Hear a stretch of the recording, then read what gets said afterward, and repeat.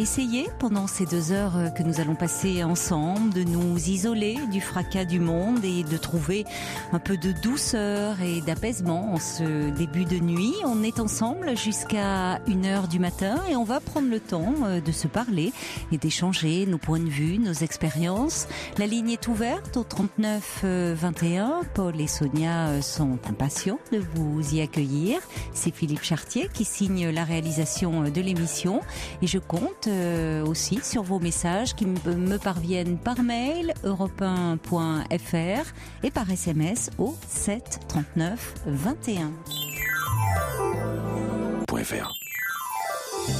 Caroline Dublanche sur Europe Bonsoir Amel.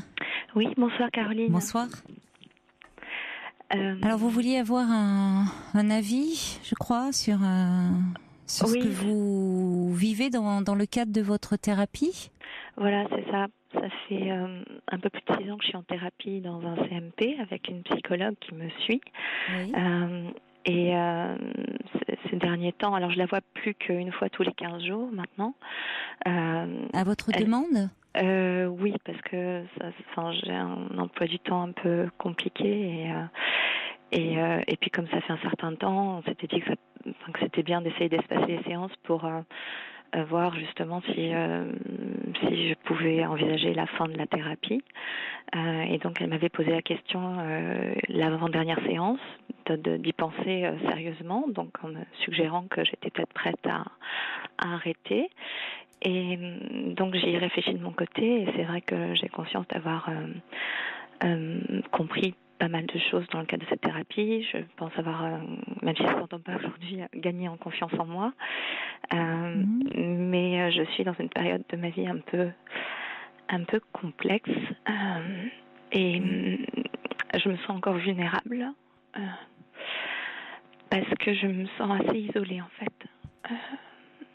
Oui. J'ai, j'ai, enfin, j'ai fait un, comment dire, un ménage dans mes relations. Je, mhm. enfin, bon, en même temps, je me suis retrouvée en chômage, donc il y a aussi un. Ah oui, ça, ça contribue beaucoup à, à, ce, enfin, ce, pas seulement un sentiment d'ailleurs d'isolement, une réelle situation d'isolement. Le ouais. chômage isole beaucoup. Vous êtes au chômage depuis combien de temps? Euh, ça fait un peu plus de deux ans, mais oui. bon, j'ai une activité. Euh, enfin, en fait, je me, j'essaie de me reconvertir dans l'artistique. Euh, parce que c'est quelque chose qui me tient à cœur depuis de longues années et euh, comme le domaine dans lequel je travaillais n'était pas euh, comment dire en pleine euh, croissance, en pleine embauche, je me suis dit bah autant essayer de, de me consacrer à, à ce qui me tient vraiment à cœur. Vous Et faites donc, une euh, formation en ce moment? Euh, Non, là je j'ai des projets. Enfin, je, mmh. je suis en, en, train de faire des cachiers intermittentes du spectacle, mmh. et ça commence à doucement à prendre forme. Disons, je commence à avoir un petit peu des possibilités d'avoir justement accès à ce statut. Donc, euh, ça me donne un peu plus confiance. Bien, Ces dernières semaines, ça me je me sens un peu plus, euh, voilà, j'y vois un peu plus clair. Oui, oui, votre situation s'éclaircit un peu. Vous... Voilà. Mmh. Mais disons que du point de vue euh, personnel et dans mon entourage, je me sens un petit peu isolée, quoi. C'est ouais. bah, c'est pas le moment d'arrêter alors votre thérapie. Ben oui, c'est ça, mais que, enfin, c'est effectivement. oui, ça vous ça vous angoisse beaucoup, ça vous insécurise en fait. Oui, c'est ça, c'est oui. que j'ai pas vraiment de de personnes très proches en ce moment dans mon entourage pour me soutenir et que donc c'était une euh, comment dire un rendez-vous qui me permet de me dire bon bah voilà si j'ai des des angoisses, c'est un espace où voilà je peux exprimer mes oui, angoisses. Oui, c'est important bien sûr Alors de quelqu'un que... qui vous connaît et qui peut voilà. Euh enfin justement permettre d'exprimer, de les de les surmonter, de comprendre ce qui est en jeu derrière. Et puis c'est une situation un peu compliquée en ce moment. Ouais. Il faut en parler là. C'est voilà. Et le problème c'est que j'ai l'impression que enfin la dernière fois j'ai parce que donc dans le cadre professionnel j'ai comment dire je je je, je, je sais très bien faire euh, semblant que tout va bien. Enfin il n'y a pas de problème. Je suis une plutôt bonne comédienne. Mais c'est vrai que quand je suis en, en rendez-vous avec elle, j'ai tendance à, à relâcher un peu la pression, à être euh, sincère et, et du coup, les moments d'angoisse qui remontent, j'ai l'impression que ça la, ça la, l'agace, en fait. Ah bon? J'ai l'impression qu'elle, euh, oui. Qu'est-ce qui vous fait penser qu'elle, euh, que ça l'agace comme ça quand vous êtes très angoissée? Bah, Des réflexions du style bon, bah oui, vous savez que. Enfin, euh, oui, comme si elle avait l'impression. Enfin, que, elle me dit bon, ça fait six ans que vous êtes en thérapie. Euh, ça fait six ans de thérapie, c'est ça Oui, ouais, Ah oui, ça va pas ça. vos parents, vous savez comment ils fonctionnent et enfin voilà, comment dire. Oui, elle n'est plus, elle vous la sentez plus à l'écoute au fond. Je la sens plus trop bienveillante envers moi. Ouais. Mm. Ouais. Et euh, alors je comprends parce que moi aussi, je, enfin comment dire, c'est, j'ai l'impression que c'est lent aussi. J'aimerais bien que ça aille plus vite. Euh. Mais bien sûr que vous aimeriez bien aller mieux, mais enfin ça prend du temps. Et déjà, comme vous le dites, dans pas mal de domaines, vous avez pris euh, davantage confiance en vous, vous y êtes davantage d'assurance. Maintenant, euh, le thérapeute n'est pas là pour rappeler euh, le temps euh, de la thérapie. Enfin, et pour dire bon, en gros, ça fait six ans maintenant, vous devriez avoir réglé vos problèmes. C'est, oui, oui, c'est pour ça que je en même temps, je lui ai exprimé que je me sentais pas prête, et en même temps, quand euh, j'ai vu, enfin, sa réaction, j'ai eu l'impression de me dire, en fait, je vais m'imposer à elle, et, euh, je suis plus. Euh, et oui, ça vous met. Vous en avez parlé de, de, ça avec elle, parce que je vais vous dire, c'est en principe. Le, le, le c'est pas au thérapeute de, c'est pas le thérapeute qui dit euh, qui, qui, évoque la fin de la thérapie bah, Oui, d'autant plus que, que, moi, personnellement, franchement, euh, j'ai un emploi du temps. Enfin, je, je, dois démarcher à droite à gauche et franchement, ça m'arrangerait dans mon emploi du temps d'arrêter parce que j'irai faire du sport, j'irai faire plein d'autres choses et m'occuper de moi. Et, mais vous vous occupez de vous dans le cadre aussi de votre thérapie. Bien sûr, non mais c'est ça, effectivement. Donc si vous continuez, c'est que vous y trouvez un sens. Là où le thérapeute peut à un moment euh, euh, questionner euh, sur le, sens de la thérapie. Il s'agit pas, il n'est pas là non plus pour faire perdre son temps et son argent. Ah, alors là, vous êtes dans un CMP, mais peu importe, il y a quand même dans l'investissement en termes d'énergie à quelqu'un. C'est-à-dire 600, par exemple, que la personne elle-même systématiquement annule ses rendez-vous euh, où on commence, euh, on sent qu'il y a du, du lest et qu'il y a quelque chose qui ne se dit pas dans le cadre de la séance, mais où peut-être la personne veut arrêter, ou qu'elle vient et que finalement elle va raconter des choses euh, euh très anodines du quotidien, où il y a quelque chose qui ne se... Il n'y a pas d'application. Oui, il y a quelque chose d'un certain détachement là, on peut questionner, interroger finalement sur le, le, sens de continuer ou pas. Mais dire ça fait tant de mois ou tant d'années, je pense qu'il est bon d'arrêter. Vous savez comment vos parents fonctionnent ou... Enfin, elle, me disait aussi euh, qu'elle voulait pas créer un lien de dépendance, ce que je comprends très bien. Est-ce que Mais c'est important. Mal aussi parce que j'ai pas envie effectivement d'être dépendante d'une thérapeute. oui, mais euh, le, si vous voulez, alors le, le c'est des, des, choses importantes auxquelles euh, auxquelles un thérapeute doit penser parce que le but n'est pas non plus de maintenir les personnes, d'entretenir au fond une forme de mm. dépendance et de les laisser pendant des années et des années en thérapie Mm. Euh, surtout si au fond il ne s'y passe plus grand-chose. Mm. Mais après tout, parfois quand sait-on On a l'impression qu'il s'y passe plus grand-chose. Si la personne vient, c'est qu'elle, elle y trouve un sens. Peut-être qu'elle a besoin de questionner ou d'être rassurée par cette présence de quelque chose qui, bon, en tout cas la sécurise, la rassure. Euh, Là, là où peut-être euh, les choses sont un peu différentes, c'est qu'elle exerce dans le cadre d'une structure, donc d'un CMP, Mhm. ou peut-être euh, en dehors de vous se joignent des impératifs et malheureusement des impératifs qui vous dépassent et qui la dépassent. On mhm. sait que euh, la, la, la, psychiatrie de, de secteur euh, c'est très compliqué. C'est mhm. très compliqué. Il y a beaucoup de CMP euh, qui ferment, de CMPP qui ferment. C'est un vrai problème mhm. parce que cette euh, psychiatrie de secteur a un vrai rôle à jouer, un vrai rôle de prévention notamment. Mhm. Euh, permet d'avoir affaire à des thérapeutes de, de, qualité et de pouvoir euh, donc suivre, faire un travail qui va porter ses fruits sans pour autant justement débourser des sommes folles. Ou... Donc elle a une vraie utilité et il y a tout ça derrière. Donc, est-ce que elle est un peu pressée? C'est bon. La question qu'on peut se poser, peut-être par euh, la hiérarchie, où elle est tenue à un devoir de pas dépasser un certain nombre d'années, je ne sais pas. Vous voyez, c'est. J'avoue que je ne sais pas, mais ça peut être une possibilité. Du coup, même si elle m'a pas refusé clairement, maintenant je me sens plus trop à l'aise en fait. Mais je comprends. Parce que j'ai l'impression que si je me montre trop angoissée, ça va. Oui, mais ça ne va pas. Parce que, alors que je vais pas me sentir. Bah, vous n'allez pas faire semblant d'aller la bah, voir et en disant, mm. vous n'êtes pas là pour euh, lui dire oui, oui, tout va bien, vous avez raison, maintenant j'ai mm. tout compris du fonctionnement, et mm. puis vous, vous n'y allez pas pour jouer un rôle. Donc si vous ne pouvez pas parler de vos angoisses à votre thérapeute, euh, c'est bah quand même. Euh, effectivement, c'est un problème. Ouais. Donc, euh, donc je suis embêtée parce que ça va recommencer. Euh... Vous, vous étiez attaché jusque-là, elle? Enfin, il y avait quelque chose. Vous avez bien avancé avec elle? Ou c'est c'est Comment vous avez réagi quand elle vous a quand elle a évoqué la possibilité de mettre un terme à la thérapie? Qu'est-ce que vous avez ressenti? je, je, je, enfin, j'aime, je suis quelqu'un d'assez indépendante et j'aime mhm. bien euh, l'idée justement de, de pouvoir. Euh, enfin, je, je me suis rendu compte, j'ai pris conscience de mes ressources internes et que je pouvais aussi, parce qu'elle a été absente pendant euh, plusieurs mois en début d'année et que finalement, bon, bah, j'avais réussi à me, me débrouiller toute seule quand j'avais eu mes, mes angoisses. Donc je m'étais dit bon, je sais que j'en suis capable, mais en même temps, j'ai pris conscience que du coup, bah, je, je là dernièrement, je rappelais pas mal mes parents alors que je veux éviter, euh, enfin j'ai une relation tellement complexe avec eux que je sais mhm. que c'est pas très bon non plus de de leur demander conseil sur. Euh, oui, et ça vous permettait d'éviter d'être justement dans cette dépendance-là à vos parents. Oui. Mmh. Donc. Euh, donc finalement, quand elle vous a parlé de ça, vous vous êtes senti comment un peu perdu, déstabilisé ou...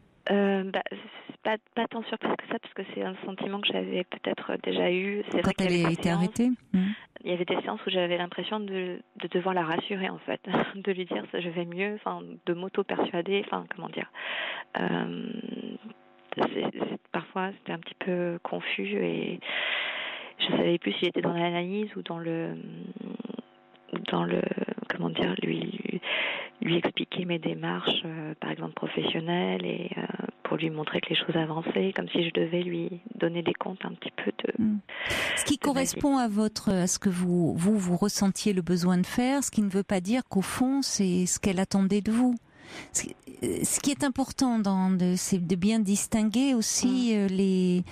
Euh, on prête beaucoup euh, de sentiments et d'émotions au thérapeute qui nous suit sentiments et émotions qui ne sont pas forcément les siennes. Mm. Mais c'est important qu'on lui prête. la, dernière séance, elle a vraiment exprimé que mon angoisse euh, était envahissante. Elle a quand même dit oui, euh, ça, clairement les choses. Euh, et donc là, en y réfléchissant, je me disais, mais en fait, c'est votre métier.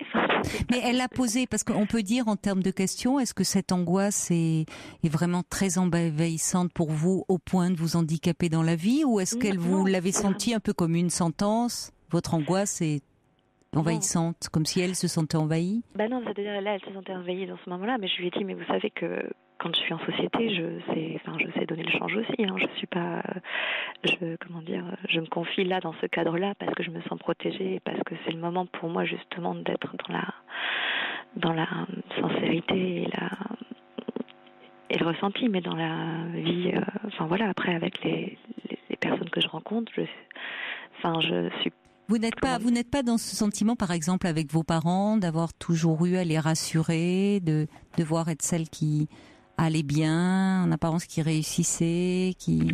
Euh, adolescente, si, si, si, parce que hmm. si, si, j'étais bonne élève et et euh, oui, j'étais l'enfant qui devait, enfin, je devais pas faire de vagues, oui, ça c'est un petit peu, euh, hmm. mais. Oui, donc une enfant sage qui devait un peu. Oui, tout à fait. Donc il peut y avoir, il y a toujours des choses de votre vécu qui, qui interfèrent, mais mm. pour revenir quand même à ce que je vous dis, il y a quand même deux choses qui m'interpellent. C'est dans, dans le fait que déjà elle, elle parle de mettre un terme à, enfin c'est elle qui l'évoque à un moment où vous, vous n'aviez pas désinvesti, semble-t-il, cette relation. Euh, oui, enfin, on l'avait déjà évoqué quelques mois auparavant, mais disons que j'avais euh, j'avais conclu que c'était euh, pas encore tout à fait le bon moment. Et, là, pareil. Enfin. Ben là, c'est pas le moment, semble-t-il, pour vous. vous le dites. C'est pas seulement le fait mm. de. Il y a un moment, si vous voulez, où presque on se rend compte qu'on vient, qu'on n'a plus grand-chose à dire, qu'on peut faire sans. Et puis d'ailleurs, on se quitte en se disant après tout, il est toujours possible de revenir, de revenir vous voir si jamais un événement se produit ou quelque chose dont j'ai besoin euh, de parler à nouveau.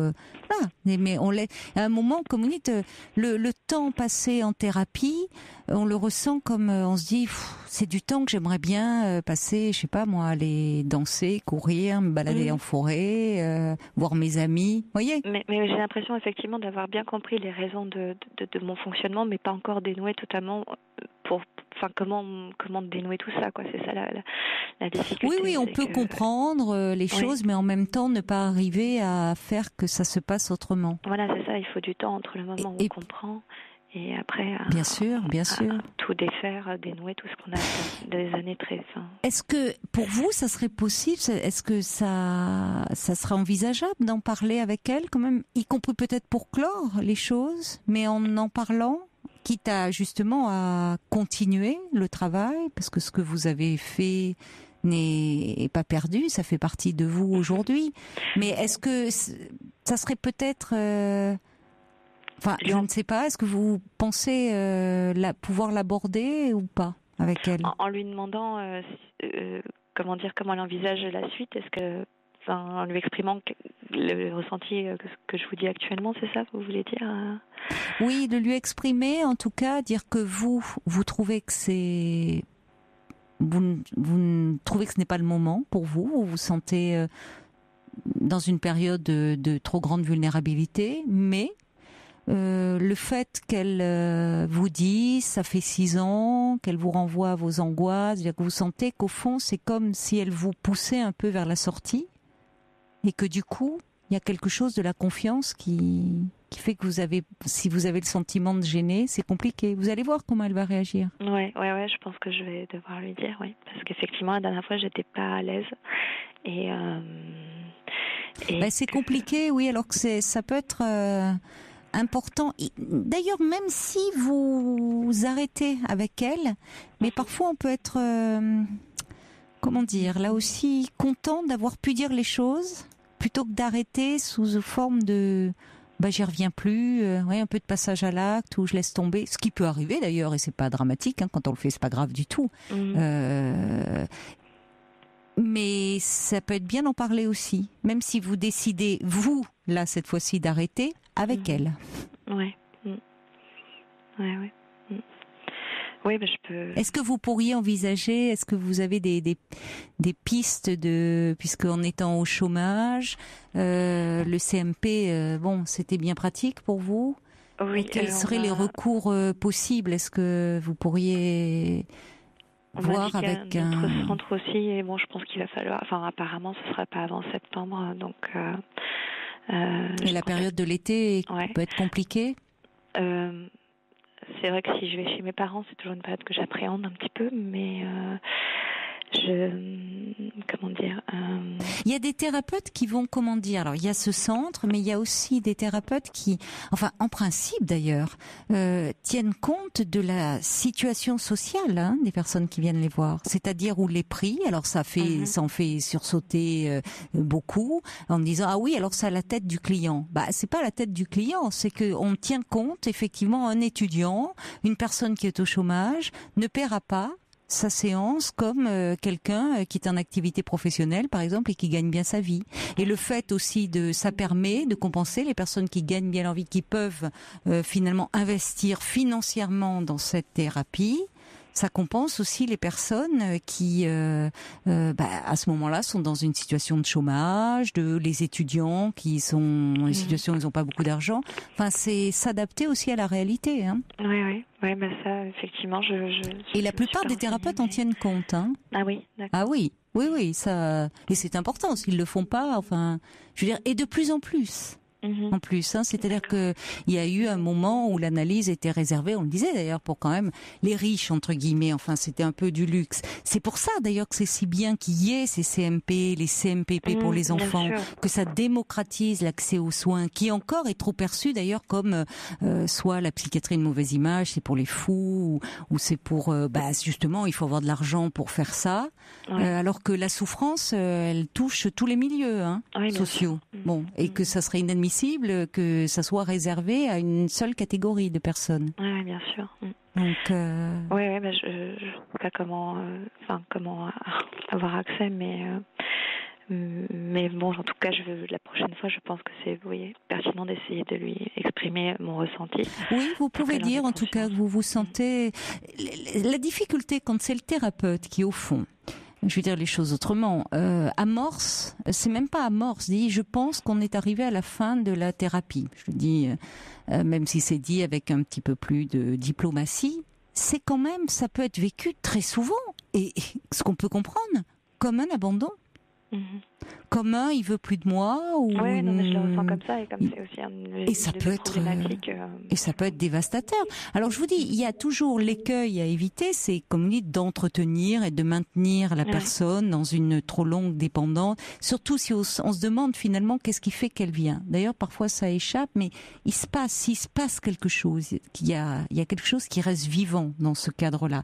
Si ça ronronne par moments un peu trop, s'il y a quelque chose, on peut le thérapeute peut dire, au fond, euh, je reçois un message, ça fait beaucoup réagir, vous savez, euh, Amael, ah votre témoignage. Bah oui, parce que ça concerne beaucoup de monde, euh, mhm. ce lien comme ça. Qu'est-ce qui se passe en thérapie Quand est-ce qu'on arrête une thérapie euh, il y a quelqu'un, beaucoup, je vais vous lire des messages, mais euh, quelqu'un me dit je ressens cette lassitude du thérapeute, j'ai l'impression euh, qu'il s'ennuie. Beaucoup ont le sentiment d'ennuyer le thérapeute, alors peut-être parce qu'ils ne le sentent pas assez présent, qu'il ne réagit pas assez. Et là aussi, c'est important de, de l'évoquer tous ces sentiments même qui sont dits un peu négatifs à l'égard du thérapeute, parce mhm. que c'est une excellente façon de faire avancer la thérapie quand ça ronronne. Mm. Justement, c'est le propre du transfert, c'est-à-dire tous les sentiments, toutes les émotions qu'on va attribuer au thérapeute, parce que à travers lui, on va revivre des situations qui ont été compliquées, difficiles pour nous, et le thérapeute, au cours de la thérapie, va endosser différents rôles, différents personnages, sans qu'on en ait toujours euh, conscience, évidemment. Donc, à travers ces sentiments qu'on lui prête, euh, il y a quelque chose à interroger qui peut faire avancer euh, la, la relation, notamment parfois quand il y a d'ailleurs euh, des choses qui peuvent être un peu négatives qui sont projetées sur lui. Mhm. Ça peut être un tournant et un tournant par rapport à une prise d'indépendance par rapport à mhm. lui. Oui, je sais que c'était, euh, il y avait des moments où elle s'était un petit peu énervée aussi parce que je, enfin, parce que dans ma, ma séance, je, je, parlais beaucoup de, des problèmes de mon père, que, enfin, du coup, j'étais un peu envahie par ses problèmes à lui, et euh, elle m'avait dit bon, et vous, vous êtes tout là-dedans, donc, enfin, du coup, elle s'était énervée, mais positivement pour moi, pour que je reprenne ma place. donc là, j'avais je, compris sa réaction et je l'avais trouvé même, euh, enfin, ça m'avait permis moi aussi après, après de m'affirmer. Oui, elle, elle voulait vous entendre, vous, entendre votre parole à vous, vous faire réagir. Oui. Donc, bah, je vous sens assez fine et assez. Euh, vous êtes, vous décodez quand même hein, certaines choses et en particulier, c'est pas vous qui avez initié l'idée d'une fin possible de thérapie. Non, et c'est ça qui fait aussi que vous. Pas encore euh, bon, bah alors il faut en tenir compte. Ouais. Mais par contre, euh, oui, est-ce que si je la sens toujours hostile entre guillemets, enfin pas pas bienveillante, je ne sais pas si c'est utile. ah ben non, vous avez la réponse à votre question. C'est-à-dire si vous sentez au fond qu'elle euh, euh, ou qu'elle vous renvoie de façon trop euh, comment dire trop hum, personnelle à vos à vos états d'âme en disant que bon oui c'est il y a quelque chose il, doit ça doit donner lieu à un échange et un échange mm.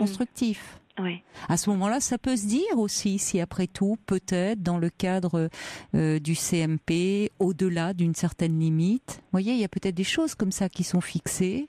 C'est-à-dire que c'est pas comme en libéral où euh, il y a tellement de demandes et malheureusement, euh, les demandes augmentent et je vous dis, les centres ferment. Donc il y a un problème. Hein. Et il y a peut-être aussi des choses comme ça qui échappent, vous voyez, qui dont elle est tributaire en travaillant au sein de, de cette structure. Mais à ce moment-là, parfois c'est mieux en le disant, en disant dans le cadre euh, de cette structure, je ne peux que vous proposer ça. Bon, euh, mais effectivement, vous avez raison de vouloir continuer. Mais oui. Je est-ce que vous avez besoin de place? En fait, ça, oui. le moi clairement parce que ce sera moins. Oui, vous pouvez dire. Est-ce que finalement, euh, vous pouvez dire, même dire, pas bah, j'ai lu, euh, ou on m'a dit qu'effectivement il y avait un problème actuellement dans les CMP, CMPP, beaucoup fermés. Peut-être que vous êtes soumise à des contingences. Ça montre que mm. bon, voyez, vous. Mm. Vous avez pris de l'assurance. vous pouvez lui poser les questions. Et c'est bien de pouvoir aussi en parler. Maintenant, euh, à, à, partir d'un moment, s'il y a quelque chose qu'on ne sent plus, et, puis mm. si vous sentez que, comme le dit quelqu'un, un petit peu qu'il y a des portes qui se ferment là où au contraire elles devraient être dans, dans l'accueil, et mm. bah, à ce moment-là, il n'y a pas lieu de persister. C'est Anne qui dit ça. Mhm. et qui dit vous n'allez pas devenir la thérapeute de votre psy qui ferme toutes les portes.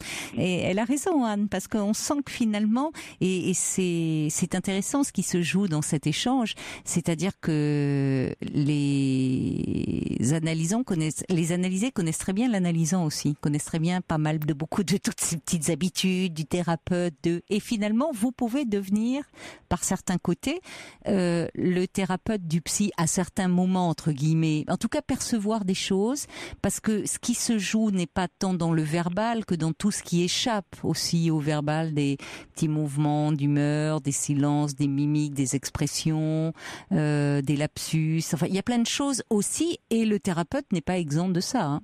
Mhm. Alors il y a Claude qui dit j'ai surpris mon psy avec les paupières lourdes, c'est déstabilisant. Ben, oui, évidemment. Alors en même temps, qu'est-ce que vous voulez? Ils, peuvent avoir des moments de fatigue. ça ne veut pas dire forcément que vous les ennuyez, mais il peut y avoir des moments un peu compliqués. Ou euh, il y a y a quelqu'un euh, qui dit aussi euh, c'est Fleur de sel qu'elle fait une thérapie. C'est moi qui lui dis si je veux revenir dans 15 jours ou 3 semaines, et, et mon thérapeute qui me dit de venir à telle date, c'est important. Enfin, c'est-à-dire qu'il y a un accord. En tout cas, vous sentez qu'il y a une liberté et que c'est pas lui qui décide. Euh, enfin, je sais pas, je, lis au fur et à mesure, mais peut-être que c'est pas très clair. C'est-à-dire qu'elle se, elle sent qu'il y a un accord passé, qu'elle peut décider, et en tout cas que c'est pas le thérapeute qui décide euh, mhm. euh, de façon arbitraire sans tenir compte de vous.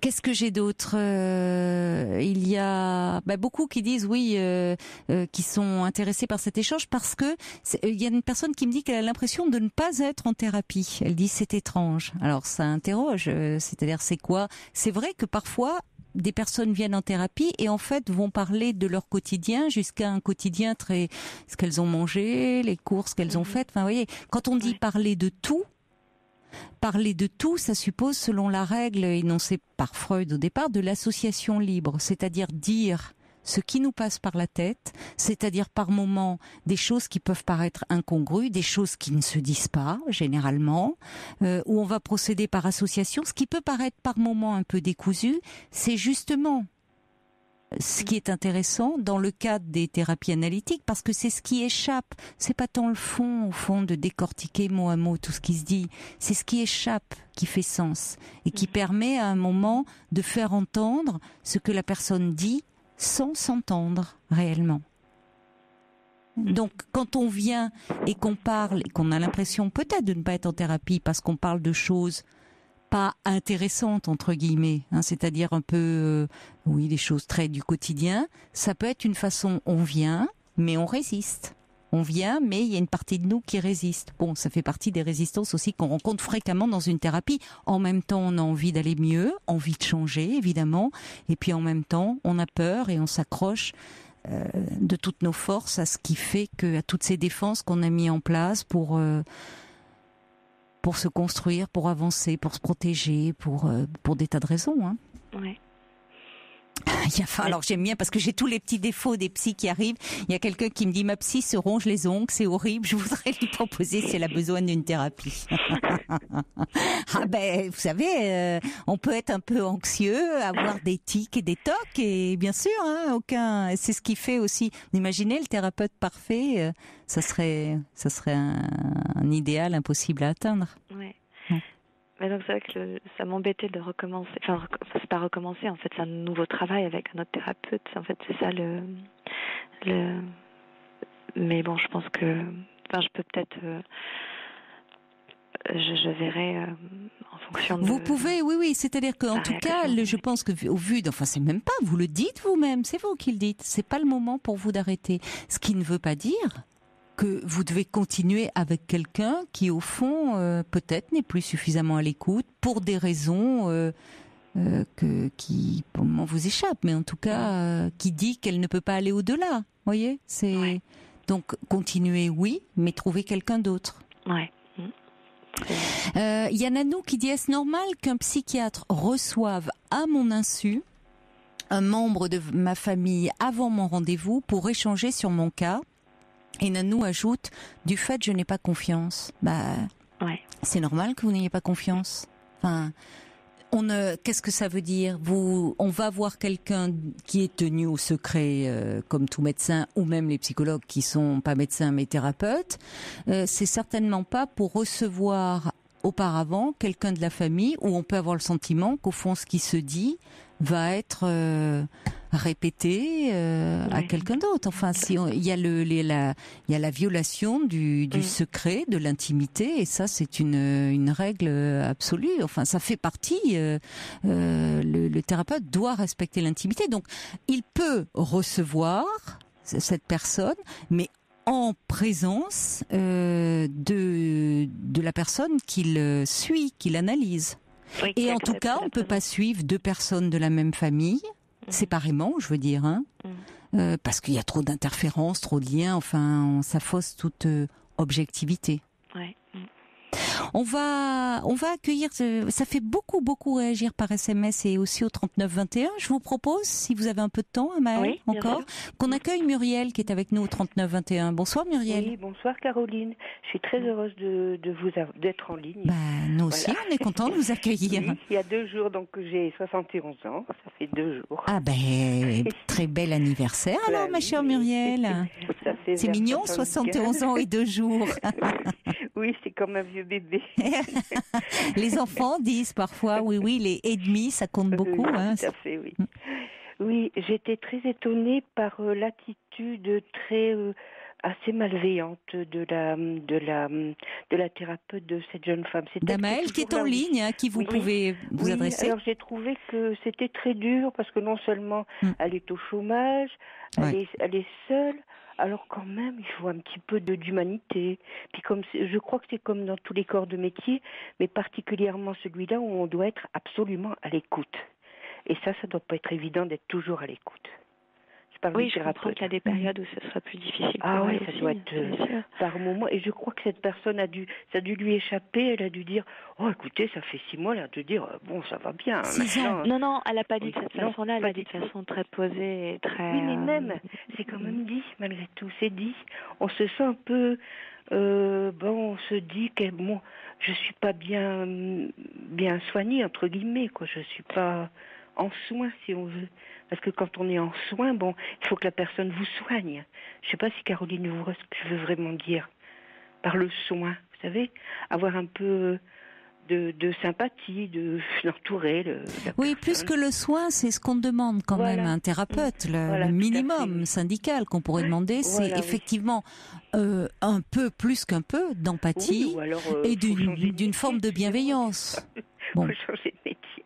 Bah sinon oui. Alors après, bien sûr que le thérapeute peut par moment euh, être fatigué, être avoir des événements de vie qui le stressent, qui le perturbent. Bien sûr, hein, c'est pas bon. C'est on travaille sur de l'humain, hein, donc le thérapeute, s'il peut faire aussi ce métier, c'est parce que lui-même est traversé par des émotions, par des sentiments, par sa vie, par. Mais en même temps, ça ne doit peser sur, interférer trop. Euh, ah oui, il faut être humain au départ. Hein. C'est pour ça qu'il y a des psys de psy aussi. Hein. Oui, ça fait rire beaucoup, mais que par moment, bah, c'est très important de d'aller parler aussi à quelqu'un, un confrère, une consoeur, qui dire est-ce que là je suis dans le bon, qu'est-ce que ou là en ce moment c'est compliqué, ou cette personne me renvoie à quelque chose de difficile de mon histoire. Mais il faut pas lâcher comme ça parce que déjà la personne qui vient consulter est déjà en, en comment je vais dire. Euh, comment je vais dire, c'est pas le, le, même niveau. Le thérapeute, moi je le vois par exemple sur un, une certaine hauteur, et celui qui vient, il est en dessous. Mais euh, en fait, c'est-à-dire que je comprends ce que vous voulez dire, c'est qu'il y, y, a quelque chose d'un pouvoir qu'on attribue à ce thérapeute, sinon on ne viendrait pas lui parler, le pouvoir de nous aider à aller mieux, le pouvoir, il sait, dit, lui il va savoir, il sait, alors qu'au fond il ne sait rien. En tout cas, il ne sait rien sur vous puisque c'est vous qui savez. Il va euh, vous permettre de le découvrir et avancer avec vous. Il a un savoir théorique, mais ça reste de la théorie. En revanche, sur vous, chaque personne, elle arrive avec son univers. Euh, c'est un univers très différent. De, euh, c'est pour ça que c'est un métier passionnant d'ailleurs, parce que chaque personne arrive d'une personne à une autre. C'est dans la façon de s'exprimer, dans les mots choisis, dans y a, y a, elle apporte dans le non verbal aussi tout un tas de choses qui bon euh, euh, nous font entrer dans un oui dans un univers très différent. Excusez-moi Caroline, je pense à une chose pendant que euh, je suis auprès de vous, si je puis dire. J'ai quand même mon thérapeute qui m'a demandé au début euh, si j'avais des moyens de, de venir. Quoi. Il m'a demandé carrément qu'est-ce que vous vous faisiez ou votre mari, etc je pouvais payer eux. Donc qui m'a un tout petit peu quand même choqué là. Euh, c'était au début de la thérapie Oui, au début, oui. Parce que c'était euh, pour vous avant de vous proposer de bah, comment est-ce que, que j'avais il est en libéral? Oui, en libéral, j'avais un médecin euh, un médecin et euh, j'avais perdu papa euh, et j'étais très mal, très très mal. Alors je lui ai demandé est-ce que je peux consulter? Bon, il m'a donné l'adresse de ce médecin et voilà de ce, psychiatre. Mmh. Et là, il va partir en retraite. Alors je me sens un peu bon, je peux pas le, le suivre, il part en retraite mmh. et ça, ça me gêne beaucoup parce que je me vois pas avec quelqu'un d'autre malgré tout. Ah oui, oui. Ah oui, j'y tiens. Il m'a sauvé. Je peux dire que après le décès de mon père, j'étais vraiment, mm. euh, mais vraiment très, très, très mm. mal, très mm. mal. C'est pour ça que certaines personnes parfois n'osent pas dire que ça fait euh, des années qu'elles sont en thérapie, euh, parce que souvent ça suscite un peu de comment dire d'étonnement pour ne pas dire plus. Certains sont un peu condescendants, en disant. Bah, Maintenant, je pense, moi j'en ai parlé autour de moi, hmm. mais à des, des, jeunes, des jeunes, hein, des jeunes de, de, entre 20 et 30 ans, euh, elles ne sont pas étonnées du tout. Non, non, mais on peut, euh, ça peut être compliqué. Il y a des personnes qui disent oh là là, bah dis donc, ils s'entrimballent ou qu'est-ce que qu'est-ce qui se ah passe. Alors qu'en fait, il y a des personnes qui, sans cela, ne seraient peut-être plus là, ah bah, euh, que ça a aidé à hein, vivre euh, ah, à un certain moment. Donc bon, et on ne peut pas mesurer. Et puis c'est vrai qu'il y a un investissement, mais là où certains vont le mettre dans l'achat d'une voiture ou d'un truc, bon, après tout, pourquoi pas? Chacun fait ce qu'il veut. Et si on a la chance de pouvoir faire sans et heureusement c'est une chance, bien sûr. C'est une chance, Se mais... faire soigner, euh, être suivi, c'est une mm. grande chance. Alors, il y a aussi des. Et qu'est-ce que vous vouliez dire plus particulièrement à Maëlle, peut-être, euh, ce soir pour, euh, bah, C'est-à-dire, je ne sais pas, c'est, c'est une façon de, de, voir les choses, mais je trouve que face à une thérapie, il faut être très fort. Très Fort face à une thérapie Je ne ah comprends pas. Ah, si, si, si. Ça veut dire quoi eh ben, C'est-à-dire, on est en train de trier un peu ce qu'on a vécu ou ce qu'on vit. On veut le voir d'une façon un peu plus éclairée, un peu plus, un peu plus douce, un peu plus normale entre guillemets. Et euh, je pense que malgré tout, on reçoit quelquefois des rejets de bon, tout d'un coup, on vous met en lumière le fait que votre vos parents ont été vraiment à un certain moment ignobles avec vous, chose que vous avez vécue, mais que vous avez mis tellement au fond de vous-même. Oui, il faut du courage pour amorcer ah, oui. Oui, c'est ça. Vous avez raison, Amael. C'est du courage. Là où, là où on associe. Et euh, savoir, répondre, mais avec d'une façon vraiment euh, tempérée, parce qu'on n'est pas là pour se battre. Hein. Mais euh, lui dire, écoutez, vous m'avez dit six mois, le temps passe vite moi j'ai besoin de vous, ça passe vite. Je sais pas, une façon un petit peu de retourner des choses. Vous avez raison, Amel, il faut un monde du courage parce ah que et, il peut. Euh, Les retombées sont quelquefois très dures. Il faut comprendre aussi que euh, pour certaines personnes, on peut comprendre. Moi, je respecte tout à fait certaines personnes qui disent non, je je me sens pas prête ou je n'ai pas envie d'aller euh, au fond remuer, comme vous le dites, Muriel, des choses qui vont des événements de vie qui ont été très douloureux, et qui ont peur de s'effondrer. Et on peut au combien comprendre cette peur et la respecter euh, parce que après tout si ces personnes peuvent faire sans et se sont construites d'une certaine façon et n'ont pas envie de réveiller ces douleurs enfouies dans la mesure où elles ne leur empêchent pas de, vivre leur vie, eh bien, dans ces cas-là, il est important de, de respecter ça. Oui, alors il faut préciser, moi, moi ma mère euh, a vécu des choses très très dures dans son enfance, elle n'a jamais voulu voir de thérapeute. Ah J'ai essayé de l'encourager euh, maintes et maintes fois. Et du coup, elle m'a transmis beaucoup de ses casseroles. Donc, euh, enfin, je, je pense qu'il faut quand même aussi euh, avoir un. Enfin, euh, pas essayer de ne pas porter. voilà, Moi, je pense que si ma mère avait fait un travail de son côté dans dans sa jeunesse entre guillemets, enfin, ah, elle avait bah, oui. chose, ça m'aurait épargné, je pense, je suis d'accord avec vous, Maëlle. C'est ce qui est un peu parfois difficile de se dire on fait le boulot pour les autres. Non, mais c'est ça, c'est que je pense que j'ai passé beaucoup de temps parce que le tout début de ma thérapie, c'était le problème de ma mère. Que, voilà, oui, mais oui. Que j'ai essayé de ah régler. Moi, c'était mes parents. Mais vous êtes une jeune femme, Maëlle. Vous avez quoi, 35 ans, c'est ça? Oui, oui, oui. Je sais pas, vous n'avez pas d'enfants?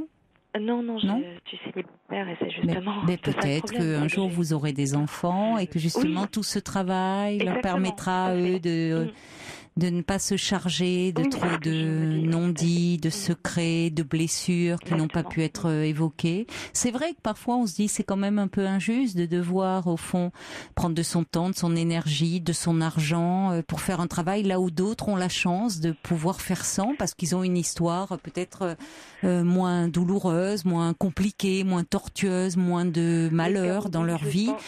Et en même temps, chacun fait euh, avec ce qui lui est donné au départ. Je, je, vais vous lire quelques messages quand même parce que ça fait énormément euh, réagir. Il y a des, il y a des, il y a des, des, auditeurs qui réagissent à ce que vous dites, Muriel, en savoir que oui, il faut être fort.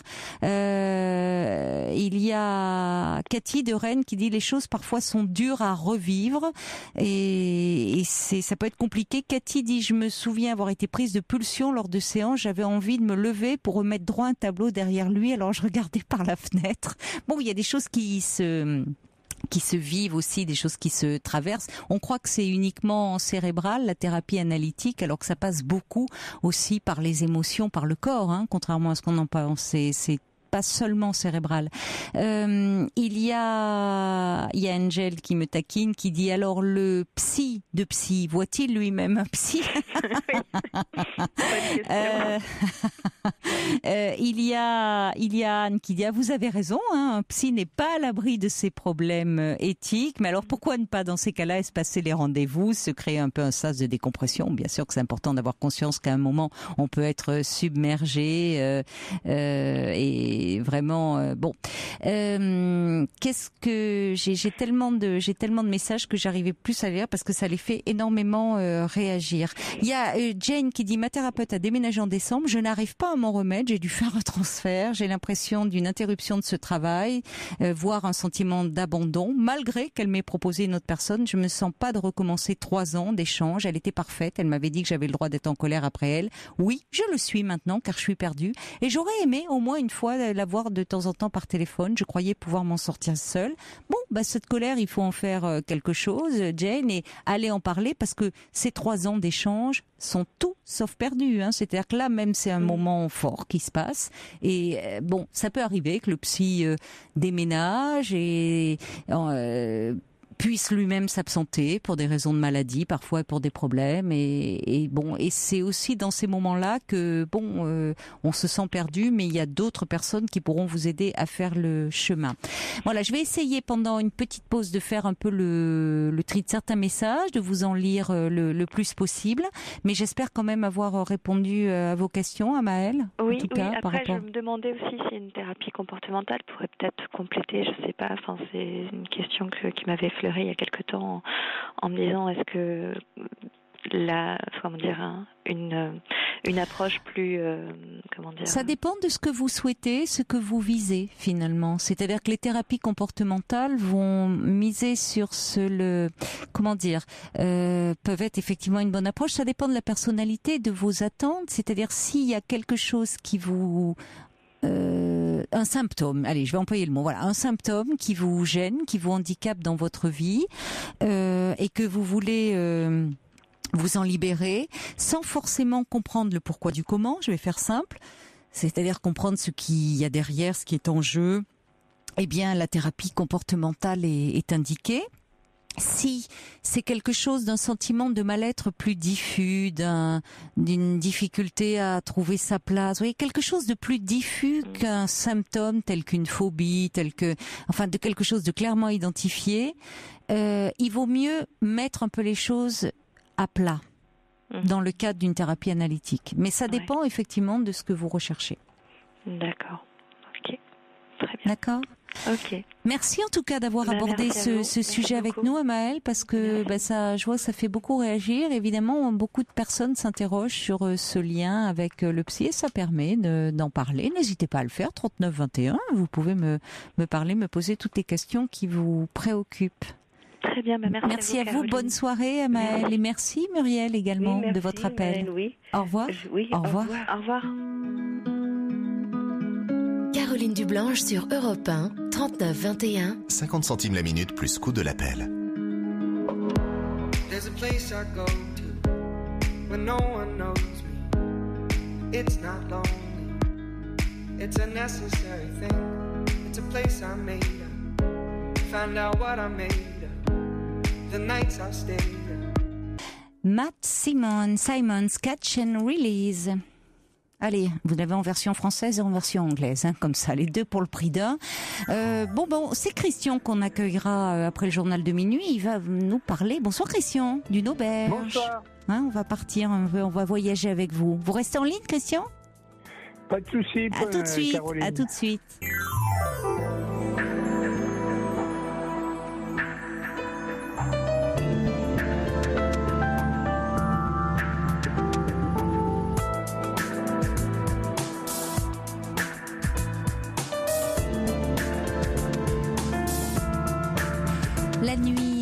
Sur Europe 1. Nous sommes à vos côtés jusqu'à 1h du matin pour euh, faire reculer les ombres qui vous empêchent peut-être de trouver euh, le sommeil.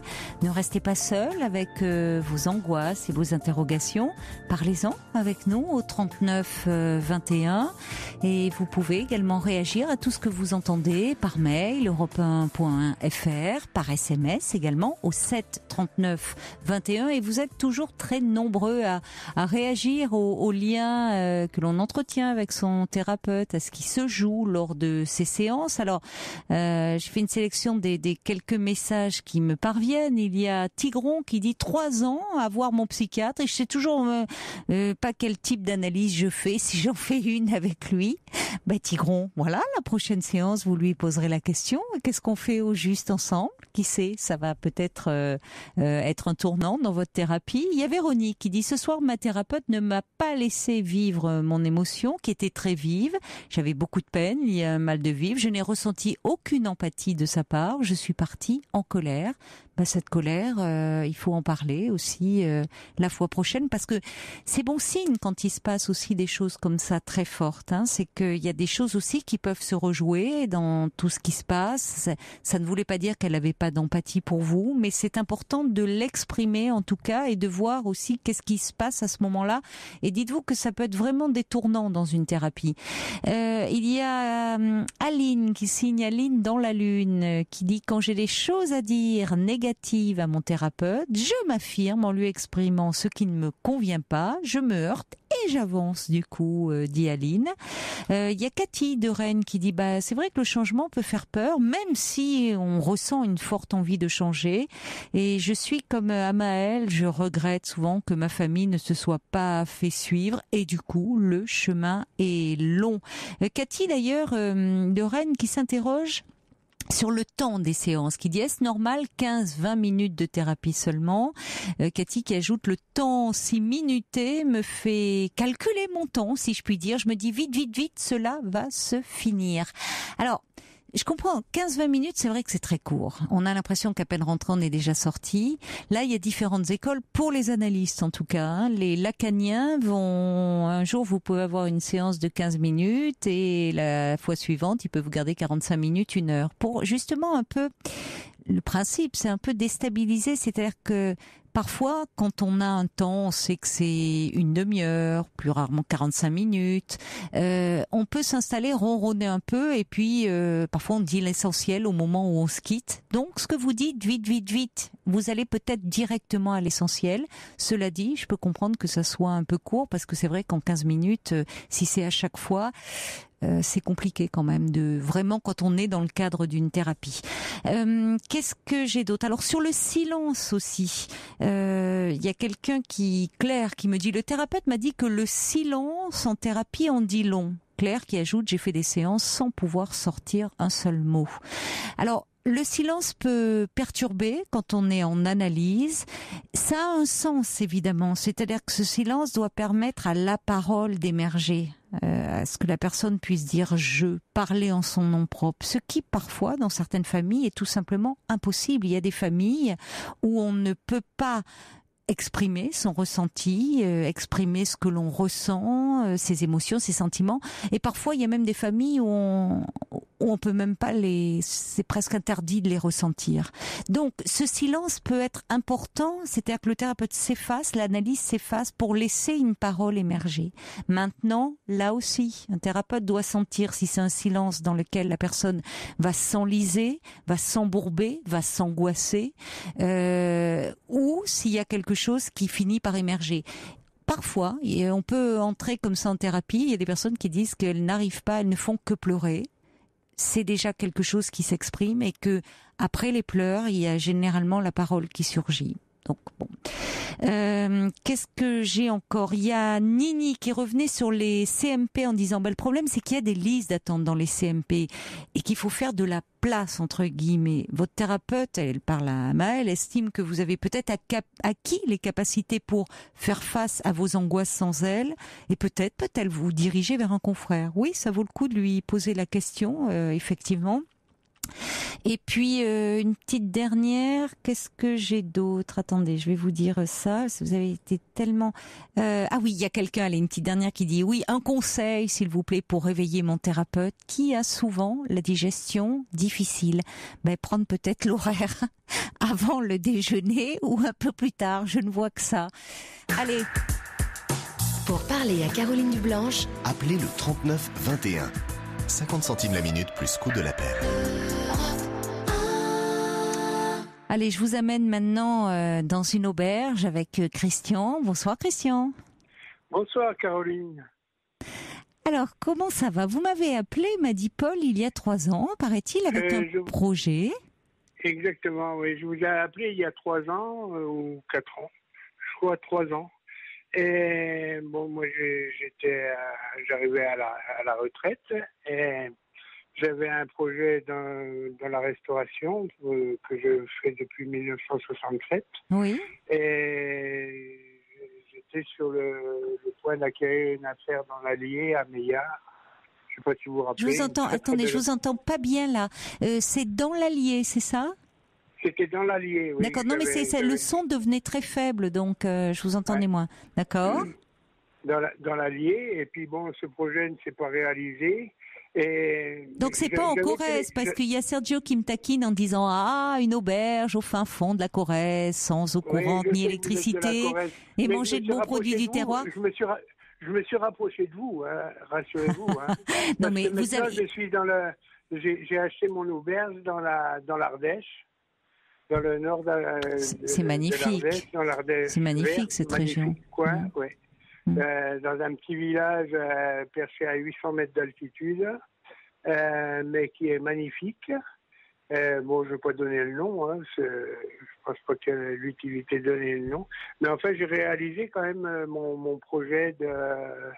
euh, C'est formidable. d'a- d'arriver après euh, 49 ans de cuisine et de m'en rajouter encore un petit peu. Et de ne pas en avoir assez et de toujours vous remettre au fourneau. Voilà, exactement, parce que bon. Alors comment, quel nom lui avez-vous donné à votre auberge? Euh, Est-ce que je peux le donner? Bah Bien sûr, profitez-en. Oui, ben écoutez, j'ai laissé le nom qui, qui, qui existait. C'est euh, le relais de Sully à Guiras. Le relais de Julie De Sully. Ah, de Sully, d'accord. De Sully, Ah oui, bon. parce que c'est c'est, euh, c'est une histoire qui date de Ben, d'un arbre qui a été euh, planté du temps de du, de, de Sully et qui, a gardé. euh, D'ailleurs, j'ai- j'ai j'ai gardé. Bon, pour l'instant, j'ai pas pu. J'ai j'ai une racine de, l'arbre parce que malheureusement, il a été coupé parce que au bout d'un certain temps, vous savez. euh, bah, peut-être parce qu'il était mort aussi, non? Voilà, il était Eh oui. mort et Vous avez euh, gardé une racine ils ont, ils, ont, ils ont gardé une racine que je vais restaurer et puis que je vais mettre devant l'auberge. Bon, ça Ah bah seulement oui, vous avez raison. J'ai repris cette auberge. hein, donc, Ça euh, fait que trois mois? Oui, oui, ça fait que trois mois que, que j'ai j'ai repris l'auberge. J'ai ouvert le 17 mars. Et D'accord. puis, euh, je- suis, j'en suis très heureux. Et alors, qu'est-ce qu'on y mange de bon Puisque vous, vous avez fait Ah. 49 ans de cuisine, bah oui, on va venir aux choses sérieuses quand même. Hein. C'est bien beau, mais on va y mange pas bon? manger les Alors, racines je de l'arbre. Donc, qu'est-ce- Je fais, je, euh, bon, il, il s'avère que euh, ce, le- ce que je fais moi, euh, c'est une, auber- c'est une cuisine de terroir oui, à base de produits uniquement frais. on mange bien hein, dans, fabrication dans, la, maison. dans la région là. Oui, oui, d'accord. Mais et ce que je fais, euh, ce que j'essaie de faire, c'est de euh, que les gens qui viennent, qui se déplacent, parce que c'est le, le, le but de de, de, Mais de la manœuvre. de, de la balade, de, venir à, à cette auberge, c'est d'y trouver quelque chose. euh, qu'on ne trouve pas dans dans d'autres restaurants et tout, parce que Oui. comme je dis toujours, à Gluras, il n'y a pas la mer, il n'y a pas la, la tour Eiffel. Donc, on vient au relais de Sully pour euh, trouver, c'est le, le- le but de... de- Alors, il n'y a pas la mer, il n'y a pas la tour Eiffel, mais qu'est-ce qu'on mange? Alors, qu'est-ce qu'on mange? Alors, qu'est-ce que vous voulez euh, Je fais... Ah ben, je la fais- carte. Je fais... Je fais je peux vous Les plats, je carte, sais pas, le plat, votre spécialité, vous euh, Euh, les spécialités, j'en ai pas personnellement. Euh, moi, je Ça commence mal. Je- non, non, pas Non, mais il n'y a pas un petit ça. truc que vous aimez bien vous savez, cuisiner? euh, Je ne veux pas rentrer. Il y a, il y a des gens qui font des spécialités et tout. Euh, bon, moi, je, je fais une cuisine d'in- d'inspiration, je fais une cuisine du cœur. Euh, Alors des- justement, par, par exemple, euh, aujourd'hui, tiens, je vais vous aider un peu. Aujourd'hui, alors qu'est-ce qu'il y avait comme plat du jour? Qu'est-ce que qu'est-ce qu'on oui, pouvait fait un plat du manger? jour, ben, vous eh ben, écoutez, j'ai fait, j'ai, j'ai des, parce que je travaille beaucoup avec les gens du terroir, j'ai des, des, des, des petits producteurs, et aujourd'hui, j'ai fait un, un sauté de veau maringot. D'accord. Et ça c'est fait, ça fait par, euh, c'est le, le veau, c'est, un veau qui est d'élevage dans, dans la campagne. C'est, un, pa- un, un paysan qui, qui me, qui me fait ce veau-là. Euh, c'est pas un veau qui a acheté, euh, Hmm. je sais pas, là, euh, un peu n'importe où et n'importe comment. Euh, mais bon, le midi, je fais un plat du jour. Mais autrement, bon, ben, je fais, je fais un pressé de, de, de chèvre. Euh, de chèvre frais euh, que par, par des, des petits fromagers euh, Ah du oui, coin. oui, oui. Je, je Il y en a de beaucoup, bons. beau- beaucoup avec des producteurs. Oui, c'est de- toujours de- des de produits euh, de l'artisanat local, des produits Voilà, frais. fait, hein. Ça varie. C'est pour ça que vous aviez un peu de mal à parler de dire une, une spécialité, parce qu'au fond, vous faites en fonction des saisons, Voilà, des moments. Exactement. Vous D'accord. voyez, euh, moi, euh, bon, euh, le, le gros de ma marchandise, par exemple, dans, dans, euh, le- demain, demain, je vais partir à, à, à Valence, je vais aller à métro, mais pour acheter mon poisson et tout. Mais quand je Ah reviens, bon? euh, je- Là, Comment? vous me faisiez peur. non, non. Mais quand, Parce qu'on trouve de tout. Moi aussi, je fais de la très bonne cuisine en allant chez Métro. hein. Oui, là, non, non, mais Donc, vous attendez, passez des produits, moi- des moi, petits pas- producteurs locaux à Métro. Bon. Je, je, je fais Ne le dites pas. De, la, de la- de la cuisine d'assemblage. Oui. Euh, je vais à métro, c'est essentiellement pour mes euh, mon Malheureux, pour, euh, malheureux, ne parlez pas de métro, allons, allons, allons. Mais non, il faut rester dans le, dans le décor local, non, les, attendez, les petits producteurs. Voilà, mais c'est ce que j'a- j'allais venir à ça. Et quand je, quand je reviens de métro, je m'arrête, euh, je m'arrête, je m'arrête à, à- chez, chez un fournisseur de fromage qui est sur la route, un fournisseur de. de- de- Et en de dessert, alors Et en de- dessert? Qu'est-ce qu'il y Ah, avait à alors, en midi dessert, Alors, je fais euh, une soupe d'ananas euh, exotique. Oui, Ça, c'est Bah, bon ça. qui plaît énormément. Euh, je fais tarte au citron, je fais des, D'accord. des tartelettes aux fraises, euh, je fais des. Et alors vous n'êtes pas seul au fourneau. Waouh Voilà. Et alors vous avez vous avez embauché du personnel sur place? Vous avez comment Alors j'ai embauché, bon ben ça c'est le, le- le- le gros du problème, parce que cette affaire je l'ai repris seul. Et bon ben c'est vrai que bon pour l'instant j'ai une serveuse, mais c'est vrai qu'on a j'ai énormément de difficultés parce que je vais rentrer quand même dans, dans, dans une péri- période saisonnière et tout. Mais ça c'est le gros du problème de trouver. Vous avez du mal à trouver Euh, voilà, exactement. Vous cherchez des serveuses Moi, de- personnellement, j'aimerais bien trouver euh, une, une autre personne en salle Oui. une personne en cuisine, parce que le but du jeu pour moi, euh, c'est pas. J'ai acheté cette affaire, c'est pas à but lucratif, si vous voulez, c'est pour euh, une. me plaisir passion en finalement. cuisine, Vous aviez envie. amener, amener du bonheur euh, aux clients et surtout avoir une communication avec euh, avec les gens parce que c'est beaucoup ça qui me qui me manquait alors qu'à l'heure actuelle Ben, profitez-en, profitez-en. Qui sait Après tout, vous cherchez donc quelqu'un, un serveur, serveuse, et, euh, pour la salle, et puis vous. Alors reprécisez Oui, oui, dans oui, quel réseau. Moi, moi, si, si, si j'arrivais à trouver une personne, euh, c'est pour ça que je vous avais appelé il y a quatre ans, mais je pense que euh, bon, c'est comme je disais, c'était pas une agence mat- euh, une agence matrimoniale à laquelle je m'a- je m'a- je Ah ben m'adressais. précisez, oui, parce Mais- que si vous passez une petite annonce, c'est autre chose là. hein, c'est. Oui, oui. Non, non, mais euh, j'avais eu beaucoup d'appels de, personnes après ma quand j'étais passé il y a trois ans. Euh, vous m'avez envoyé, il y avait beaucoup de gens qui avaient appelé. Bon, ça avait été un petit peu, euh, je veux dire, un petit peu catastrophique. Quoi, parce que, Et vous avez eu parmi ces personnes euh, des, des gens qui étaient qui qui étaient intéressés éventuellement pour. Oui, D'accord. alors, ce Bon, que- bah alors, ce que- écoutez, ce on que j'avais repasse. fait, c'est que j'étais, j'étais le bon Dieu, j'étais la, euh, la personne qu'on recherchait depuis des années. Et moi, j'avais, j'avais dit, bon, bah, c'est pas la peine qu'on perde notre temps au téléphone. Euh, vous, j'avais laissé mes coordonnées. Ben, Et, et- puis, et- j'avais dit, bon, bah, vous m'écrivez. Bon, euh, sur euh, 25 personnes qui m'ont qui m'ont contacté ou que j'ai contacté, euh, j'ai eu qu'une lettre. Et si Janine euh, à Paris, elle m'entend, j'ai fait un gros bisou parce qu'on est resté en relation ensemble. et puis elle Ouh, ça sent la petite sympa. annonce matrimoniale, ça. Non, non, je non, vous y non, pas du tout. On s'est rencontrés. Oh, Allez, je vous euh, Janine taquine. à Paris. Alors Christian, Christian, suite. Christian, Je vous je vous Caroline. taquine, Christian, je vous taquine. Oui, d'accord. Bah oui. On s'est rencontrés, un jour elle est venue à Saint-Étienne, on, on s'est rencontrés et tout.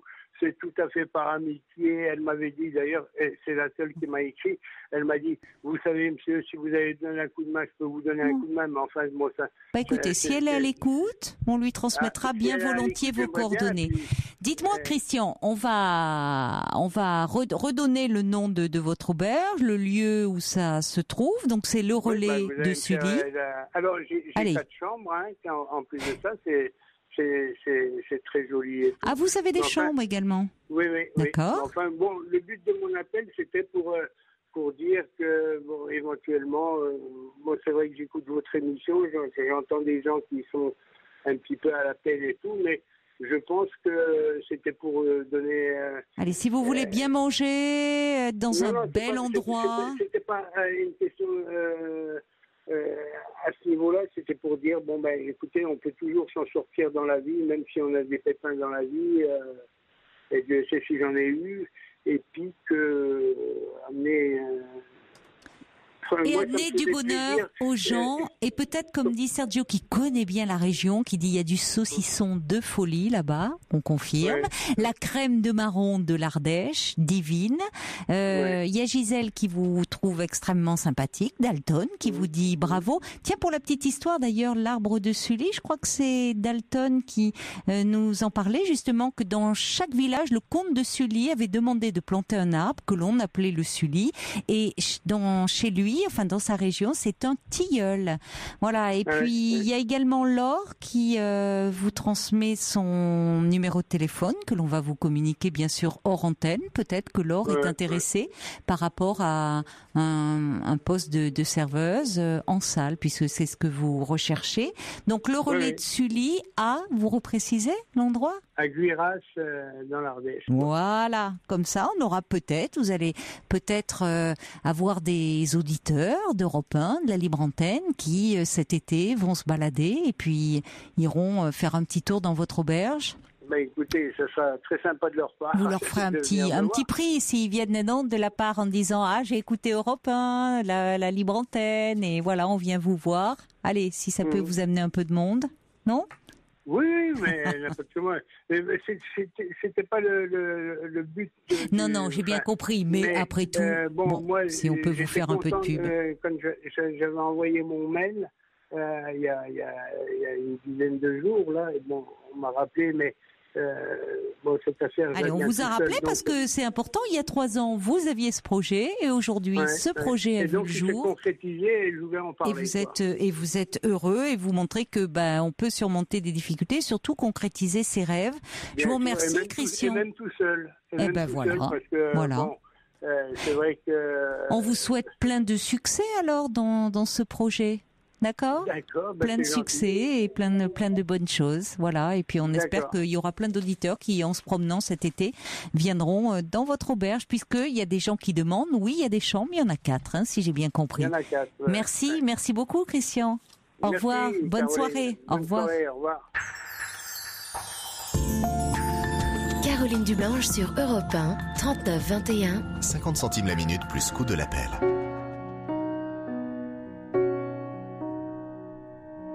Photo, une date, c'était n'y pas croire. C'était pourtant hier, mentir est ma mémoire et ces visages d'enfants. C'est la nouvelle chanson de Céline Dion, euh, Encore un soir.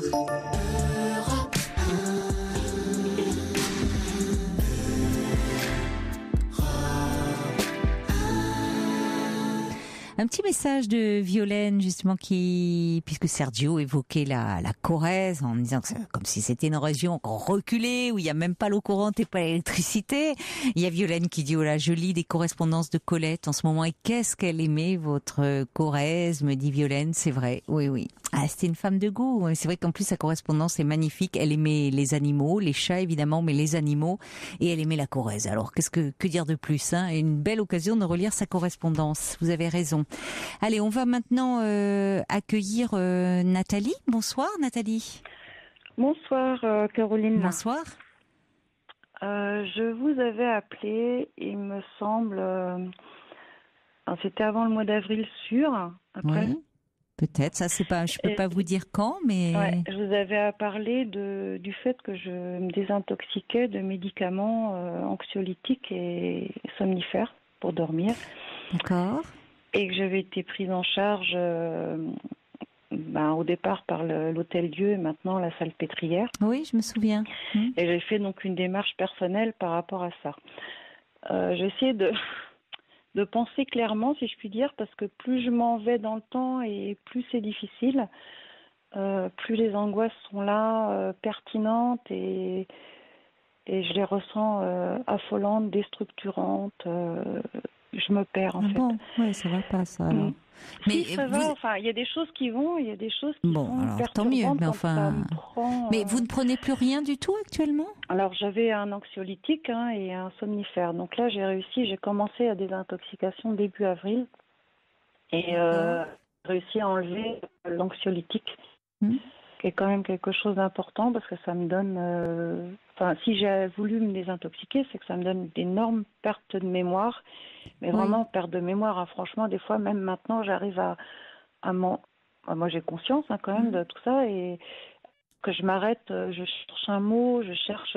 Alors, je suis très, je suis assez douée en français. Bon, voilà. euh, Les somnifères font ça aussi, hein donc Ouais, l'association des somnifères, deux. Donc là, euh, donc j'avais eu un parcours. hein. Alors j'ai, j'ai, je fais un blog que j'alimente de temps en temps par des articles que, je- que j'écris moi-même.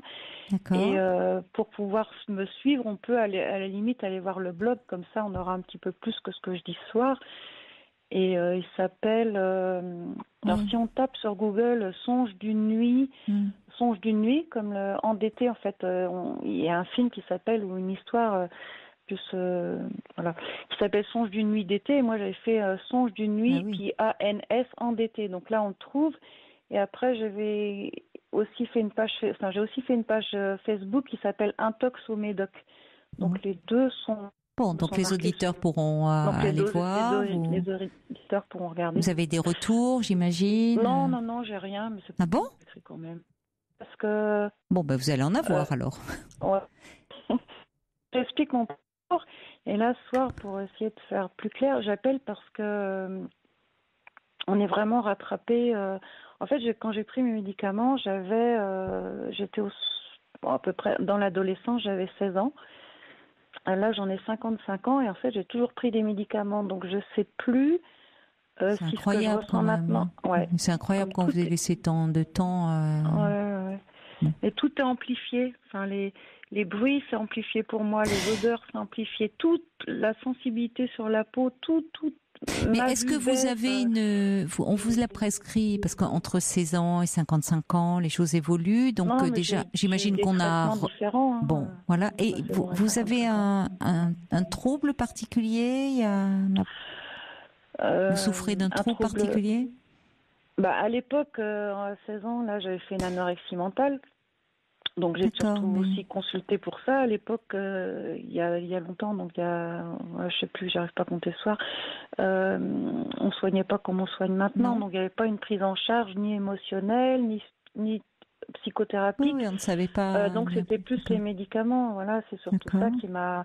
Mais bon, j'ai toujours été assez consciente de ce qui, je suis toujours assez consciente de ce qui se passe en moi. Et après l'anorexie, est-ce qu'il y a eu d'autres épisodes euh, Bah, qui les sont... problèmes de sommeil, l'anxiété, hein, j'ai pas eu de, de choses. Enfin, c'est déjà pas mal. On hein, n'a rien euh, évoqué d'autre. Hmm. Bah, j'ai quand même fait tout un travail euh, psychologique par rapport à mon enfance euh, qui avait Non. pas été très marrante, quoi.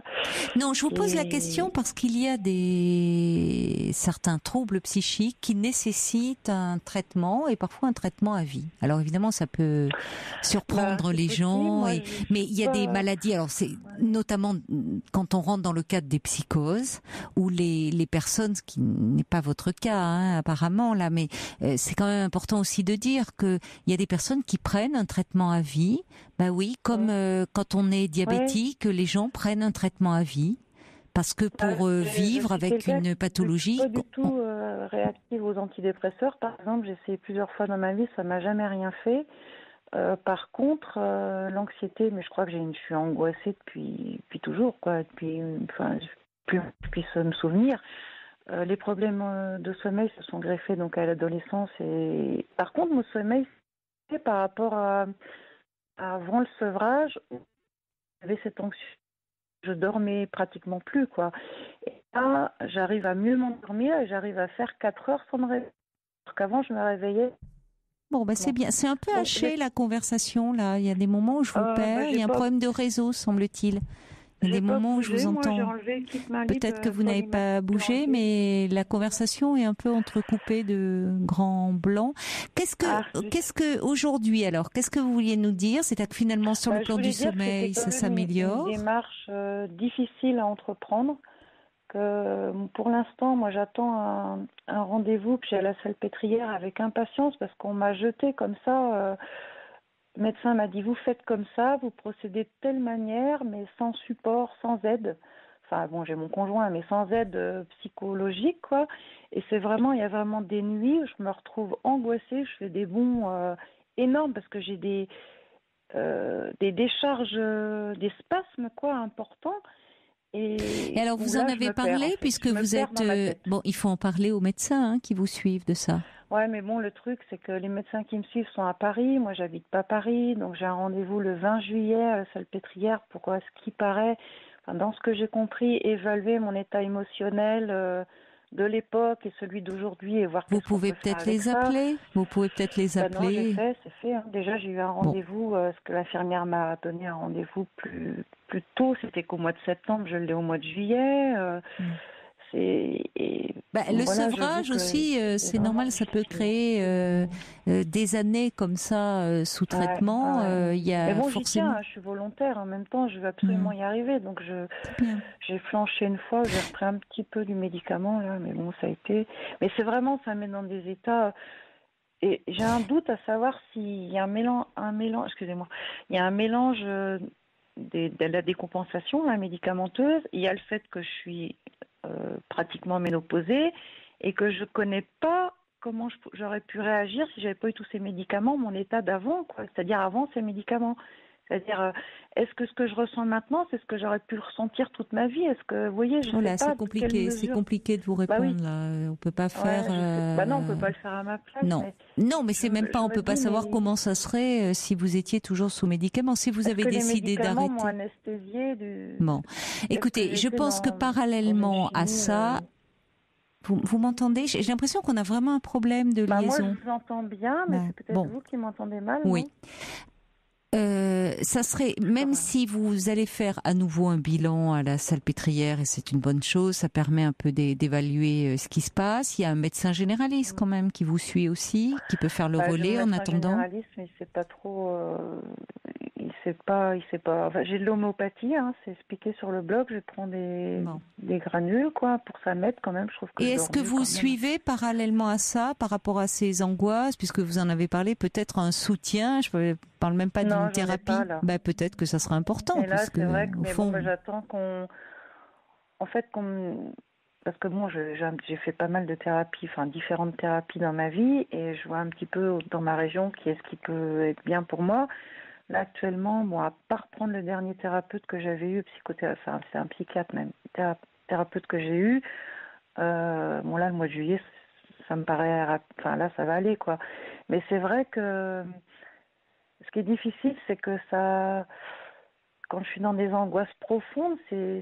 Oui, mais c'est ça qui ne va pas. C'est-à-dire que j'imagine, et c'est pour ça, euh, peut-être le le sevrage, enfin, c'est fait progressivement. J'imagine, vous n'avez pas arrêté du jour au lendemain. On a diminué les Non, doses non, progressivement. Et là, actuellement, vous ne prenez plus rien. Non, si, je prends encore le somnifère, c'est-à-dire j'ai encore Non, cette non. barrière de. D'accord. Par rapport aux anxiolytiques, vous n'en prenez plus, si j'ai bien Non, compris. là, Et vous dites que parfois, quand euh, les angoisses sont vraiment très importantes, il vous est arrivé d'en reprendre un peu. Il m'est arrivé une seule fois. Mais c'est pas grave. Il vaut mieux. Une Enfin, je, seule fois. je veux dire. Et ça m'a pas fait trop d'effet en fait. J'ai pas eu le. Oui, mais si vous voulez, il faut pas non plus que ça vous fasse violence et que ça devienne douloureux. C'est-à-dire que vous ayez envie, au fond, de. C'est juste euh, pour que ça s'arrête dans ma tête, quoi, parce que les pensées, les angoisses et tout, ça. Oui, tourne, mais on sent tourne, bien là, on sent bien aller, que ça. quoi. Bon, on sent bien que ça tourne. Alors déjà, je pense qu'il serait quand même important que vous ayez un peu un soutien. En, en face à face, quelqu'un qui vous aide à traverser cette période quand même compliquée de transition, de sevrage, euh, d'avoir sans culpabilité la possibilité quand même qui vous a été donnée d'ailleurs. euh, Il s'agit pas que ça vous fasse mal euh, aussi à, à l'inverse de de- de- d'être envahi par euh, des angoisses et de vous dire non non non non je prends rien. Ça fait vraiment très mal. hein. Bah, ça fait très mal, donc- Et ça fait mal psychologiquement parce qu'on pense Bon. qu'on a des idées noires. Et moi, j'ai jamais passé à l'acte et heureusement parce que j'ai toujours cette conscience de pas le faire, puis que je travaillais euh, dans un hôpital, donc je sais quand on appelle le 15 que ça fait, je sais. Bon, c'est pour ça. C'est euh, bon, c'est pour ça, que ça ne sert à rien de. Vous voyez, il faut pas non plus que ça devienne, euh, à l'inverse, quelque chose que vous soyez hyper tyrannique vis-à-vis de vous-même en disant non, Ouais, non, je tiens, je tiens, je tiens à tout prix, quitte à ce que ça Bah vous ouais. rende malade. Et, et à Bon. tout cacher, en plus, à l'extérieur, on peut pas imaginer euh, le chemin de croix que je vis là, quoi. C'est Oui, mais justement, n'en faites pas un chemin de croix non plus. Voyez, vous vous n'êtes pas. Euh, il faut il faut pas que ça devienne. Il y a une période. Ça doit se faire en douceur. C'est pas parce que à un moment, euh, si vraiment les angoisses sont très fortes, vous reprenez. Et c'est là où quand même euh, il est important de savoir. Vous allez. Il s'agit pas de vous jeter sur la boîte d'anxiolytique, mais de pouvoir en prendre un peu ponctuellement pour ne pas vous laisser gagner par trop d'angoisse, de pouvoir euh, remplacer aussi, comme le suggère euh, très judicieusement une auditrice, René, qui dit bon bah c'est pas le tout de faire un sevrage, mais par quoi remplace-t-on aussi? Et c'est vrai qu'il faut trouver à ce moment. Il faut trouver de la relaxation. Des mais oui, il faut. C'est-à-dire que vous pouvez me pas. Faire du bien, mais j'ai beaucoup de mal. Hein. C'est vraiment un truc. J'ai oui, du mal à me faire plaisir. Mais oui, mais il faut y réfléchir à ça. Mm. Et c'est là où il va y avoir un soutien là, quand je vais aller à la salpêtrière, parce que c'est sur cet axe-là qu'ils doivent m'aider. Donc moi, je, je, compte sur le sur leur aide. Je, pour l'instant, je fais rien en attendant, quoi. C'est ça. Et j'ai. Oui, mais trop, je trouve. C'est c'est un peu c'est un peu tout ou rien. Trop drastique. Ouais. C'est trop, oui. Bah, c'est tout ou et rien. En même temps, j'ai pas d'énergie. Je me lève le matin, j'ai aucune énergie. C'est bon. impressionnant. J'arrive pas à me mettre en mouvement, quoi. C'est j'arrive au bout du compte parce que je me. Mais vous travaillez volonté, actuellement? mais... Non, non, non, là je suis en arrêt maladie parce que le, médecin homéopathe qui me suit, euh, et qui est aussi un médecin généraliste, il fait pas que l'homéopathie, il m'a dit écoutez, ce que vous entreprenez, c'est très important, vous avez, pris une, importante décision, vous pouvez pas faire ça à la légère, vous n'allez pas mettre le stress de votre travail parce que bon, c'est pas un travail facile. Euh, en plus, il dit il faut que vous soyez dans, dans les meilleures conditions, donc je vous arrête jusqu'à euh, ce que vous en ayez besoin. Bon, en tout cas, il faut euh, trouver un moyen pour faire quelque chose. Peut-être, alors déjà, vous dites l'homéopathie, ça peut être l'acupuncture, ça peut être pratiquer voilà. aussi une activité sportive, un peu, quelque chose qui Alors vous. ça, j'essaye de plus de natation. Ben, Je vous perds, hein, j'ai un problème de réseau Bah, avec euh, vous. Hein, j'ai un- Ouais, souci, il y a des bah, moments où je je vous entends plus. On va, on va accueillir euh, Benoît qui est avec nous au 39 21. J'espère que vous allez pouvoir l'entendre. On va essayer de voir sur votre liaison téléphonique parce qu'elle est Moi, vraiment mauvaise. bien, mais cas, oui, mais vous êtes à la radio et on a de grands problèmes de réseau. On va accueillir Ouais. Benoît. Bonsoir Benoît. Bonsoir. Bonsoir. Bonsoir. Alors vous voulez euh, donc réagir au témoignage de, de Nathalie parce que vous aussi vous avez voulu à un moment vous sevrer de certains médicaments. Parce que moi, j'avais un, problème d'alcool que je traînais depuis des années. J'ai- eu un déclic à la troisième cure, qui s'est passé il n'y a pas longtemps, en, février. Et j'étais hospitalisé en, en novembre, et depuis le 10 novembre, je ne bois plus, vous voyez. Mais en même temps, le 10 novembre, et j'avais avant, des- on m'avait marqué du, euh, du CRSA. Pour, euh, Un antidépresseur un- donc. non, non, le CRSA, c'est un anxiolytique. Ah bon? Oui. Je sais pas. Bon, d'accord. Hmm, Non, non, c'est le. D'accord. Bon, enfin, en tout Ouais, cas, on va En éviter d'ailleurs entre entre nous. Si, est-ce que c'est possible d'ailleurs de pas citer le nom, s'il Ah, vous plaît, parce que vous savez qu'on ne peut pas faire de publicité pour les Ah ouais, Oui. Donc, euh, voilà, Je, bah, dis d'accord, comme ça. rien. Je peux en dire trois si vous voulez. Non, non, Non, non, non, je non, non, compte sur vous, Non, Benoît. je hein. non, non. Euh, je- euh, Ou alors je vais vous dire, je vais pas être gentil avec vous, je vais vous dire, vous me dites le nom de la molécule, là ça passera, mais c'est en général, Ah ouais, c'est pas ouais. évident, c'est pire que désannoncer les, les titres en anglais, hein. Donc euh, Je bon. m'en souviens plus, c'est des benzos, des machins ou des autres. Voilà. Bon, en tout cas, l'important c'est ce que, comment vous le sais- vivez, qu'est-ce que, voilà. hein, D'accord, parce que. D'accord. euh, euh, donc, euh, j'en prenais pas quand je buvais parce que ça, ça, ça potentialise. Donc, je prenais pas. Donc, j'ai été, j'ai été sous, euh, sous anxiolytique à partir du 10 novembre dernier. Vous voyez et, et ce qu'il y a, c'est que euh, le sevrage est plus facile si vous, si vous avez peu de temps d'accoutumance que si vous avez des années. Parce que Ah j'ai bah fait la conversation juste en cours de route et j'ai juste entendu qu'elle avait des problèmes, la jeune femme, avec, euh, avec, avec le sevrage au, Mhm. au- à l'anxiolytique. et au Alors ça somnifères. dépend de, parce qu'en en fait c'est, assez long. Hein, et Oui. moi, je l'ai fait d'abord à la cure, et après, bon, comme j'ai vu le processus que c'était à la cure, je l'ai continué chez moi, mais doucement, doucement. C'est-à-dire que je me suis sevré du- de mi-février jusqu'à jusqu'au mois de mai à peu près. Parce que la le, problème, c'est que. Oui, Pardon je vous écoute. Le problème, c'est qu'en fait, euh, bon, moi, je suis quelqu'un d'angoissé, anxieuse, et donc je dois me sevrer. euh, Enfin, ça serait bien que je me, se- me ce que je, enfin, j'ai arrêté euh, l'anxiolytique. Le truc, c'est que effectivement, il faut que je trouve un moyen ou des moyens de, comment dire, soit de la sophrologie, de relaxation, oui, sport, etc., oui. pour compenser, parce que là, mon, mon Non, corps, il en ah, peut plus, ma tête, elle oui, en mais peut plus, je sais plus quoi faire. vous vous imposez Et je peux quelque pas chose. Non mais Nathalie, Ah, c'est- Nathalie, écoutez-moi, c'est compliqué parce que comme la liaison est très mauvaise, vous m'entendez. Bah bah, oui, apparemment vous bien, m'entendez bien, mais on a un peu de mal à, bien, à ouais. se parler. Bon, vous, vous êtes dans quel, dans une logique, je trouve, c'est un peu jusqu'au boutiste, un peu c'est Ouais, c'est trop. Oui, mais c'est trop. C'est trop Mm. parce que là vous vous faites pas du bien quand vous dites je prends plus d'anxiolytique, c'est absurde. C'est absurde dans le moment où, à un moment, si la crise d'angoisse, si vous avez parlé d'angoisse qui sont quand même très envahissantes, c'est pas parce que vous Ouais. allez prendre à un moment quelque chose que vous allez replonger. Simplement, vous arrêtez tout et à côté, vous ne remplacez entre guillemets par rien. Bah, Ah, j'ai ça va pas. progressivement. Enfin, le, le- Combien de temps au niveau de la chimie de l'anxiolytique, on m'a dit d'arrêter euh, euh, bon, quart par quart le médicament et après de prendre un autre médicament qu'on prescrit euh, souvent, euh, qui est un antihistaminique et qu'on prescrit pour les gens qui s'en vont au bloc, donc qui, est- qui, diminue l'anxiété, et d'augmenter, au fur et à mesure j'en diminuais, j'en diminuais le- l'anxiolytique, j'augmentais cet autre médicament. Il est arrivé un moment où je- j'étais carrément dans le coltard avec l'autre médicament, donc j'ai aussi un petit peu diminué ce médicament-là. Donc là, j'ai un tout petit peu de l'antihistaminique et du somnifère que je garde encore. Donc il y a quand même un effet un petit peu anxiogène, euh, anxiolytique avec euh, ce médicament-là. Ceci dit, vous comprenez ce que je... Oui, ce que, ce que je veux faut dire. aller voir mon blog parce que c'est expliqué en long. Oui, alors attendez, attendez, attendez. Vous avez déjà, bah tiens, il y a Margaret qui dit, ça y est, je l'ai trouvé, votre blog. Au moins, vous pourrez dire, il y a au moins une personne qui, Oui, vous avez bah, un merci, membre de Margaret. plus. Merci à Margaret, elle est Ah oui, adorable, elle vous, elle vous soutient. Alors, j'ai quelques messages. Vous vous permettez, Benoît, j'ai j'ai des messages qui arrivent. Il y a Françoise qui dit, je me suis sevrée tout en douceur avec la sophrologie et en groupe. Et ça, c'est une excellente idée parce que le fait, le groupe fonctionne. Attention, euh, dans la sophrologie, le groupe, vous n'êtes pas à 30 personnes, c'est des groupes très très restreints.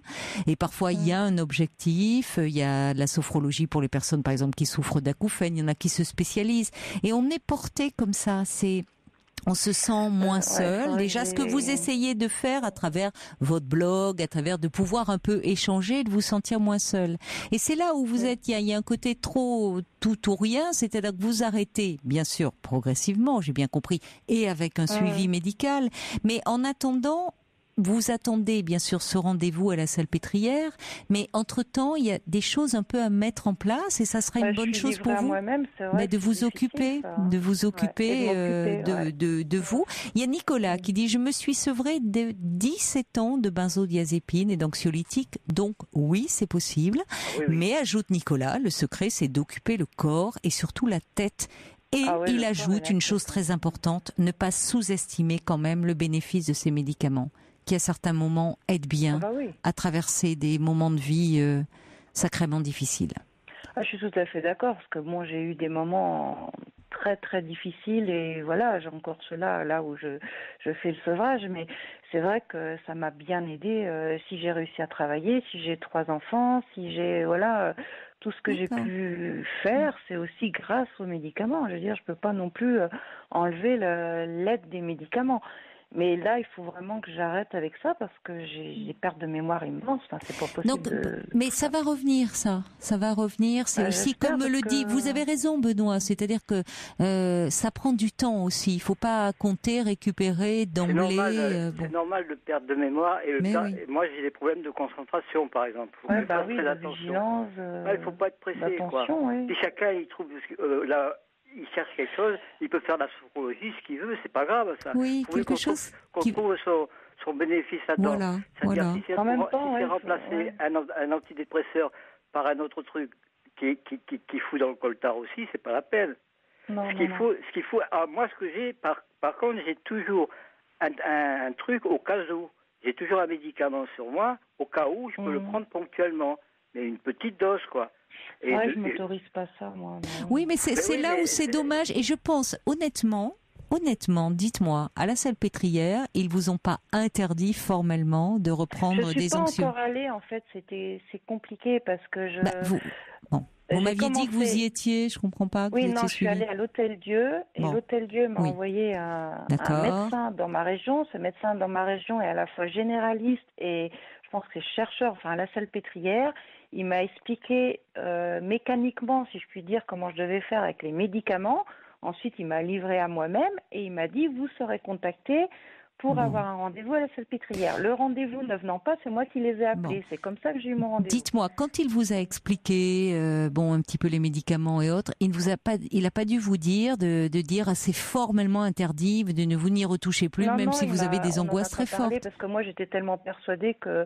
C'est vous que qui en faites euh, presque maintenant, comme vous êtes donné ça, pour mission, euh, ça y est, un sevrage, comme euh, d'autres, je sais pas, se mettent à un marathon. C'est- Il faut aussi y aller. Benoît a raison. entend, euh, Non, mais c'est on trop. Les gens qui, se se- qui font un sevrage de tabac, faut pas retoucher au Ça tabac. n'a les rien gens à qui font un sevrage voir. comme Ça n'a Benoît rien à voir. d'alcool, faut pas retoucher. Alors, Écoutez, bon, alors je vais prendre un exemple. Vous, quoi. puisque vous parlez du tabac, euh, J'ai on aussi le tabac en même temps. Bah bravo, bravo Benoît. C'est ce qui, euh, vous savez, le tabac. Bon, évidemment, on sait que on, c'est euh, totalement déconseillé aux femmes enceintes. Bon, Oui, bah hein. oui, oui. Bah oui, bah oui. Et pourtant, et pourtant, je vais vous dire que des gynécologues obstétriciens parfois disent ils ont certaines de leurs patientes qui Mhm. n'arrivent pas, même alors qu'elles attendent un bébé, ne peuvent pas réduire leur consommation de beaucoup, mais n'arrivent pas à totalement arrêter. Et ces gyné- des gynécologues obstétriciens disent, eh bien, on- tant pis, si c'est pour que la, la, la maman ait un stress, la future maman ait un stress, soit dans une Mhm. anxiété terrible, il vaut mieux, tant pis, qu'elle fume une ou deux cigarettes ou trois, je vais pas donner un nombre, mais Mhm. plutôt que d'être dans une, une stress, un stress, une anxiété massive manque, qui de toute façon est un manque qui va la mettre mal et qui de toute façon aussi se communique. Donc vous voyez, c'est jamais comme ça quelque chose de radical, même dans des Mhm. situations où je prends l'exemple de la grossesse. C'est vous qui toute seule en faites presque une performance là, de tenir, Ah, tenir à tout prix. C'est- rien. excessif. J'ai pas eu de le fait de pas. Vous savez, les centres comme la Salpêtrière, l'Hôtel Oui, mais- Dieu, ça, en province, c'est. c'est pas Oui, mais pareil. Moi, justement- ce qu'il y a dans mon coin, ça existe Nathalie, pas. alors vous êtes en train pas- d'appliquer- Il y a plein de centres. Hein, il y a dans plein de tous les centres coins. d'ailleurs un peu partout. CS, Oui. CPA, là, je sais pas quoi, avec des, il y a, y a des Exactement. CLP, tout ça, on peut, on peut les suivre toutes les semaines, c'est vache, et c'est, et c'est, on a, c'est, c'est tout gratuit, en plus, vous n'avez rien à payer, vous n'avez pas de Les nom, pas centres de d'adresse. quoi, il dit Benoît de... Euh, je sais plus les CS, euh, je sais plus des trucs euh, contre l'addiction. C'est c'est, euh, les centres. euh, bon, on va chercher parce Ouais, qu'il y a tellement Moi, de sites, c'est compliqué. euh, Allez, on va chercher, on va vous communiquer. pas, Nathalie, euh, si si, forcément, il n'y a pas que Paris hein, non plus. Hein. Et là, vous vous êtes, euh, c'est comme si vous vous composiez vous-même le programme toute seule dans votre coin en disant là, j'arrête tout Ouais, et puis je dois tenir. Et c'est et c'est excessif. Et en plus, vous voyez, donc euh, vous n'avez même pas vu encore euh, l'équipe. euh, enfin, vous- on n'êtes Bah, pas rentré pas dans le cadre d'une prise en charge. Donc déjà, il faut que vous trouviez vous quelque chose pour euh, compenser un peu ça.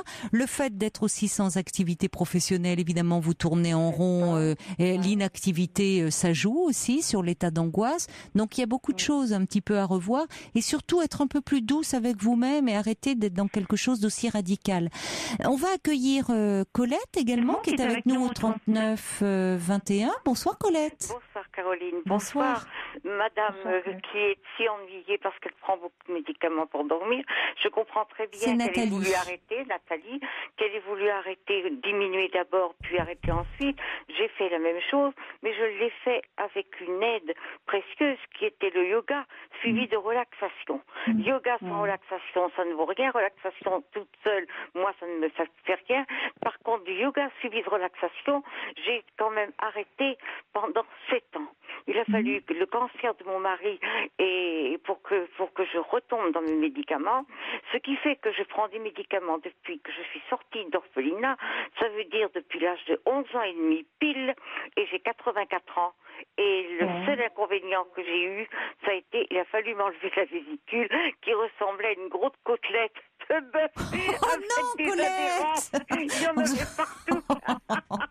Ah non Écoutez, je vous assure. Vous allez venez nous donner des cauchemars. venez à l'hôpital de, de Sarlat. Vous verrez affiché dans le, dans le bureau du chirurgien ma vésicule. Il la montre à tout le monde avec une grande fierté. Voilà l'ennui que j'ai eu. Un peu, c'est sûr. On manque un petit peu de, de mémoire, je dois le dire. Mais je pense, avec l'âge que j'ai maintenant, les 84 ans, j'ai quand même une certaine sagesse. Je vais dire à cette dame qu'elle a bien raison de la salpêtrière. Euh, le, le 20 juillet, si j'ai bien retenu exactement la date, elle a tout à fait raison d'y aller. Mais d'ici là, pitié qu'elle ne se martyrise Mais pas. oui, Qu'elle euh, qu'elle- qu'elle fasse en douceur quelque chose, euh, qu'elle continue à prendre ses anxiolytiques, plus un petit peu de somnifère, pour ne pas, comment dire, on ne peut pas faire une couture comme ça. Ce n'est pas possible. Oui, oui. Je veux dire, euh, moi j'ai réussi avec le yoga, mais j'ai réussi au bout de... En ça faisait douceur. trois ans que je faisais du yoga sans Mais rien, oui. sans rien avoir. Et au bout de ces trois ans, j'ai pu diminuer, diminuer, diminuer. Voilà, S'il n'y avait pas eu le cancer de mon mari, je crois que je n'aurais jamais repris de médicaments.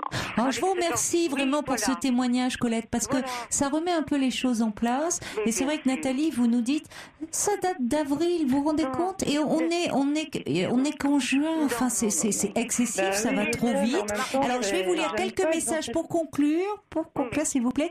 Il y a euh, quelqu'un qui dit, mais dans quel but vous rendre malade à ce point? Si après tout, quand on a besoin parfois de ces médicaments, parce qu'il y a aussi des gens qui disent, il y a Marie qui dit, je prends des médicaments depuis plus de 30 ans, mais je culpabilise plus, euh, comme euh, Nathalie. Vous êtes trop dur avec vous, dit-elle. Certains médicaments calment très bien les angoisses. Et elle- Marie qui dit, bah, elle fait travailler sa mémoire un peu tous les jours. Mhm. Donc il faut vraiment, vous voulez aller trop vite et vous vous faites du mal finalement. Donc votre démarche, oui, c'est bien, vous avez raison de vouloir euh, vous sevrer de ça, mais il faut y aller en douceur, comme le disait aussi Françoise, comme vous le disent Colette et Benoît. Donc calme, voyez, ne vous martyrisez pas, c'est le mot. Vous avez raison, Colette. Hein, prenez le temps, Ouais, trouvez, allez-y doucement. à- Vous êtes trop excessive là entre- aussi dans cet entre excès-là. D'accord Oui, euh, oui, ouais, vous êtes trop dans l'excès. Je vous remercie beaucoup, hein, Colette et, et Benoît, pour votre intervention. Et puis Nathalie, prenez le temps. Et si vous avez vraiment des angoisses envahissantes, vous pouvez prendre des traitements et vous ferez le point avec la salpêtrière. Et renseignez-vous auprès de chez vous. Il existe aussi certainement des structures où on peut vous aider dans cet accompagnement de, de sevrage. Ouais, j'ai- bon courage. Bon courage. Merci à Au vous. Revoir. Au revoir. I've heard people say that too much of anything is not good for you, baby. But I don't know about that. As many times as we've loved and we've shared love and made love, it doesn't seem to me like it's enough. It's just not enough, baby.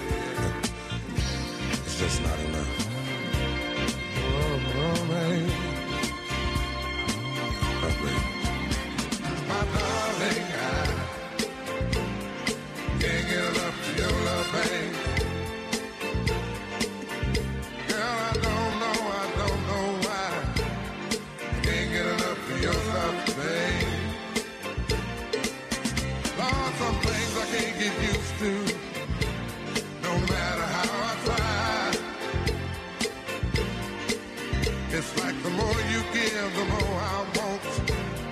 And maybe that's no lie. Oh no, babe. Tell me, what can I say? What am I gonna do? How should I feel when everything is you? What kind of love is this that you're giving me? Is it in your kiss or just because you're sweet? Girl, all I know is every time you're here, feel a change. Something moving. I scream your name. Look what you got to do is, darling, I can't get enough of your love, baby. Girl, I don't know, I don't know, I don't know why. I can't get enough of your love, baby. Oh no, babe. Girl, if I can only make you see and make you understand.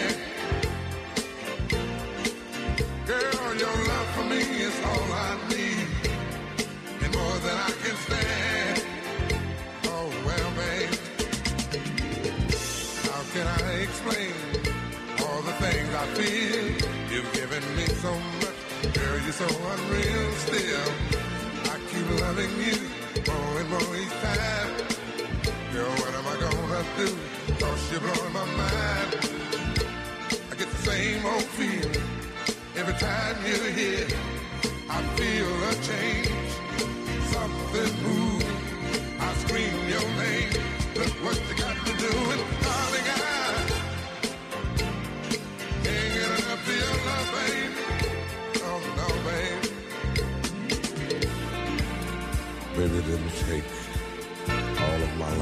Allez, voyez, on vous passe du Barry White pour vous permettre de passer une belle nuit. J'espère de jolis rêves sans trop de chimie. On sera avec vous, bien sûr, demain à partir de minuit.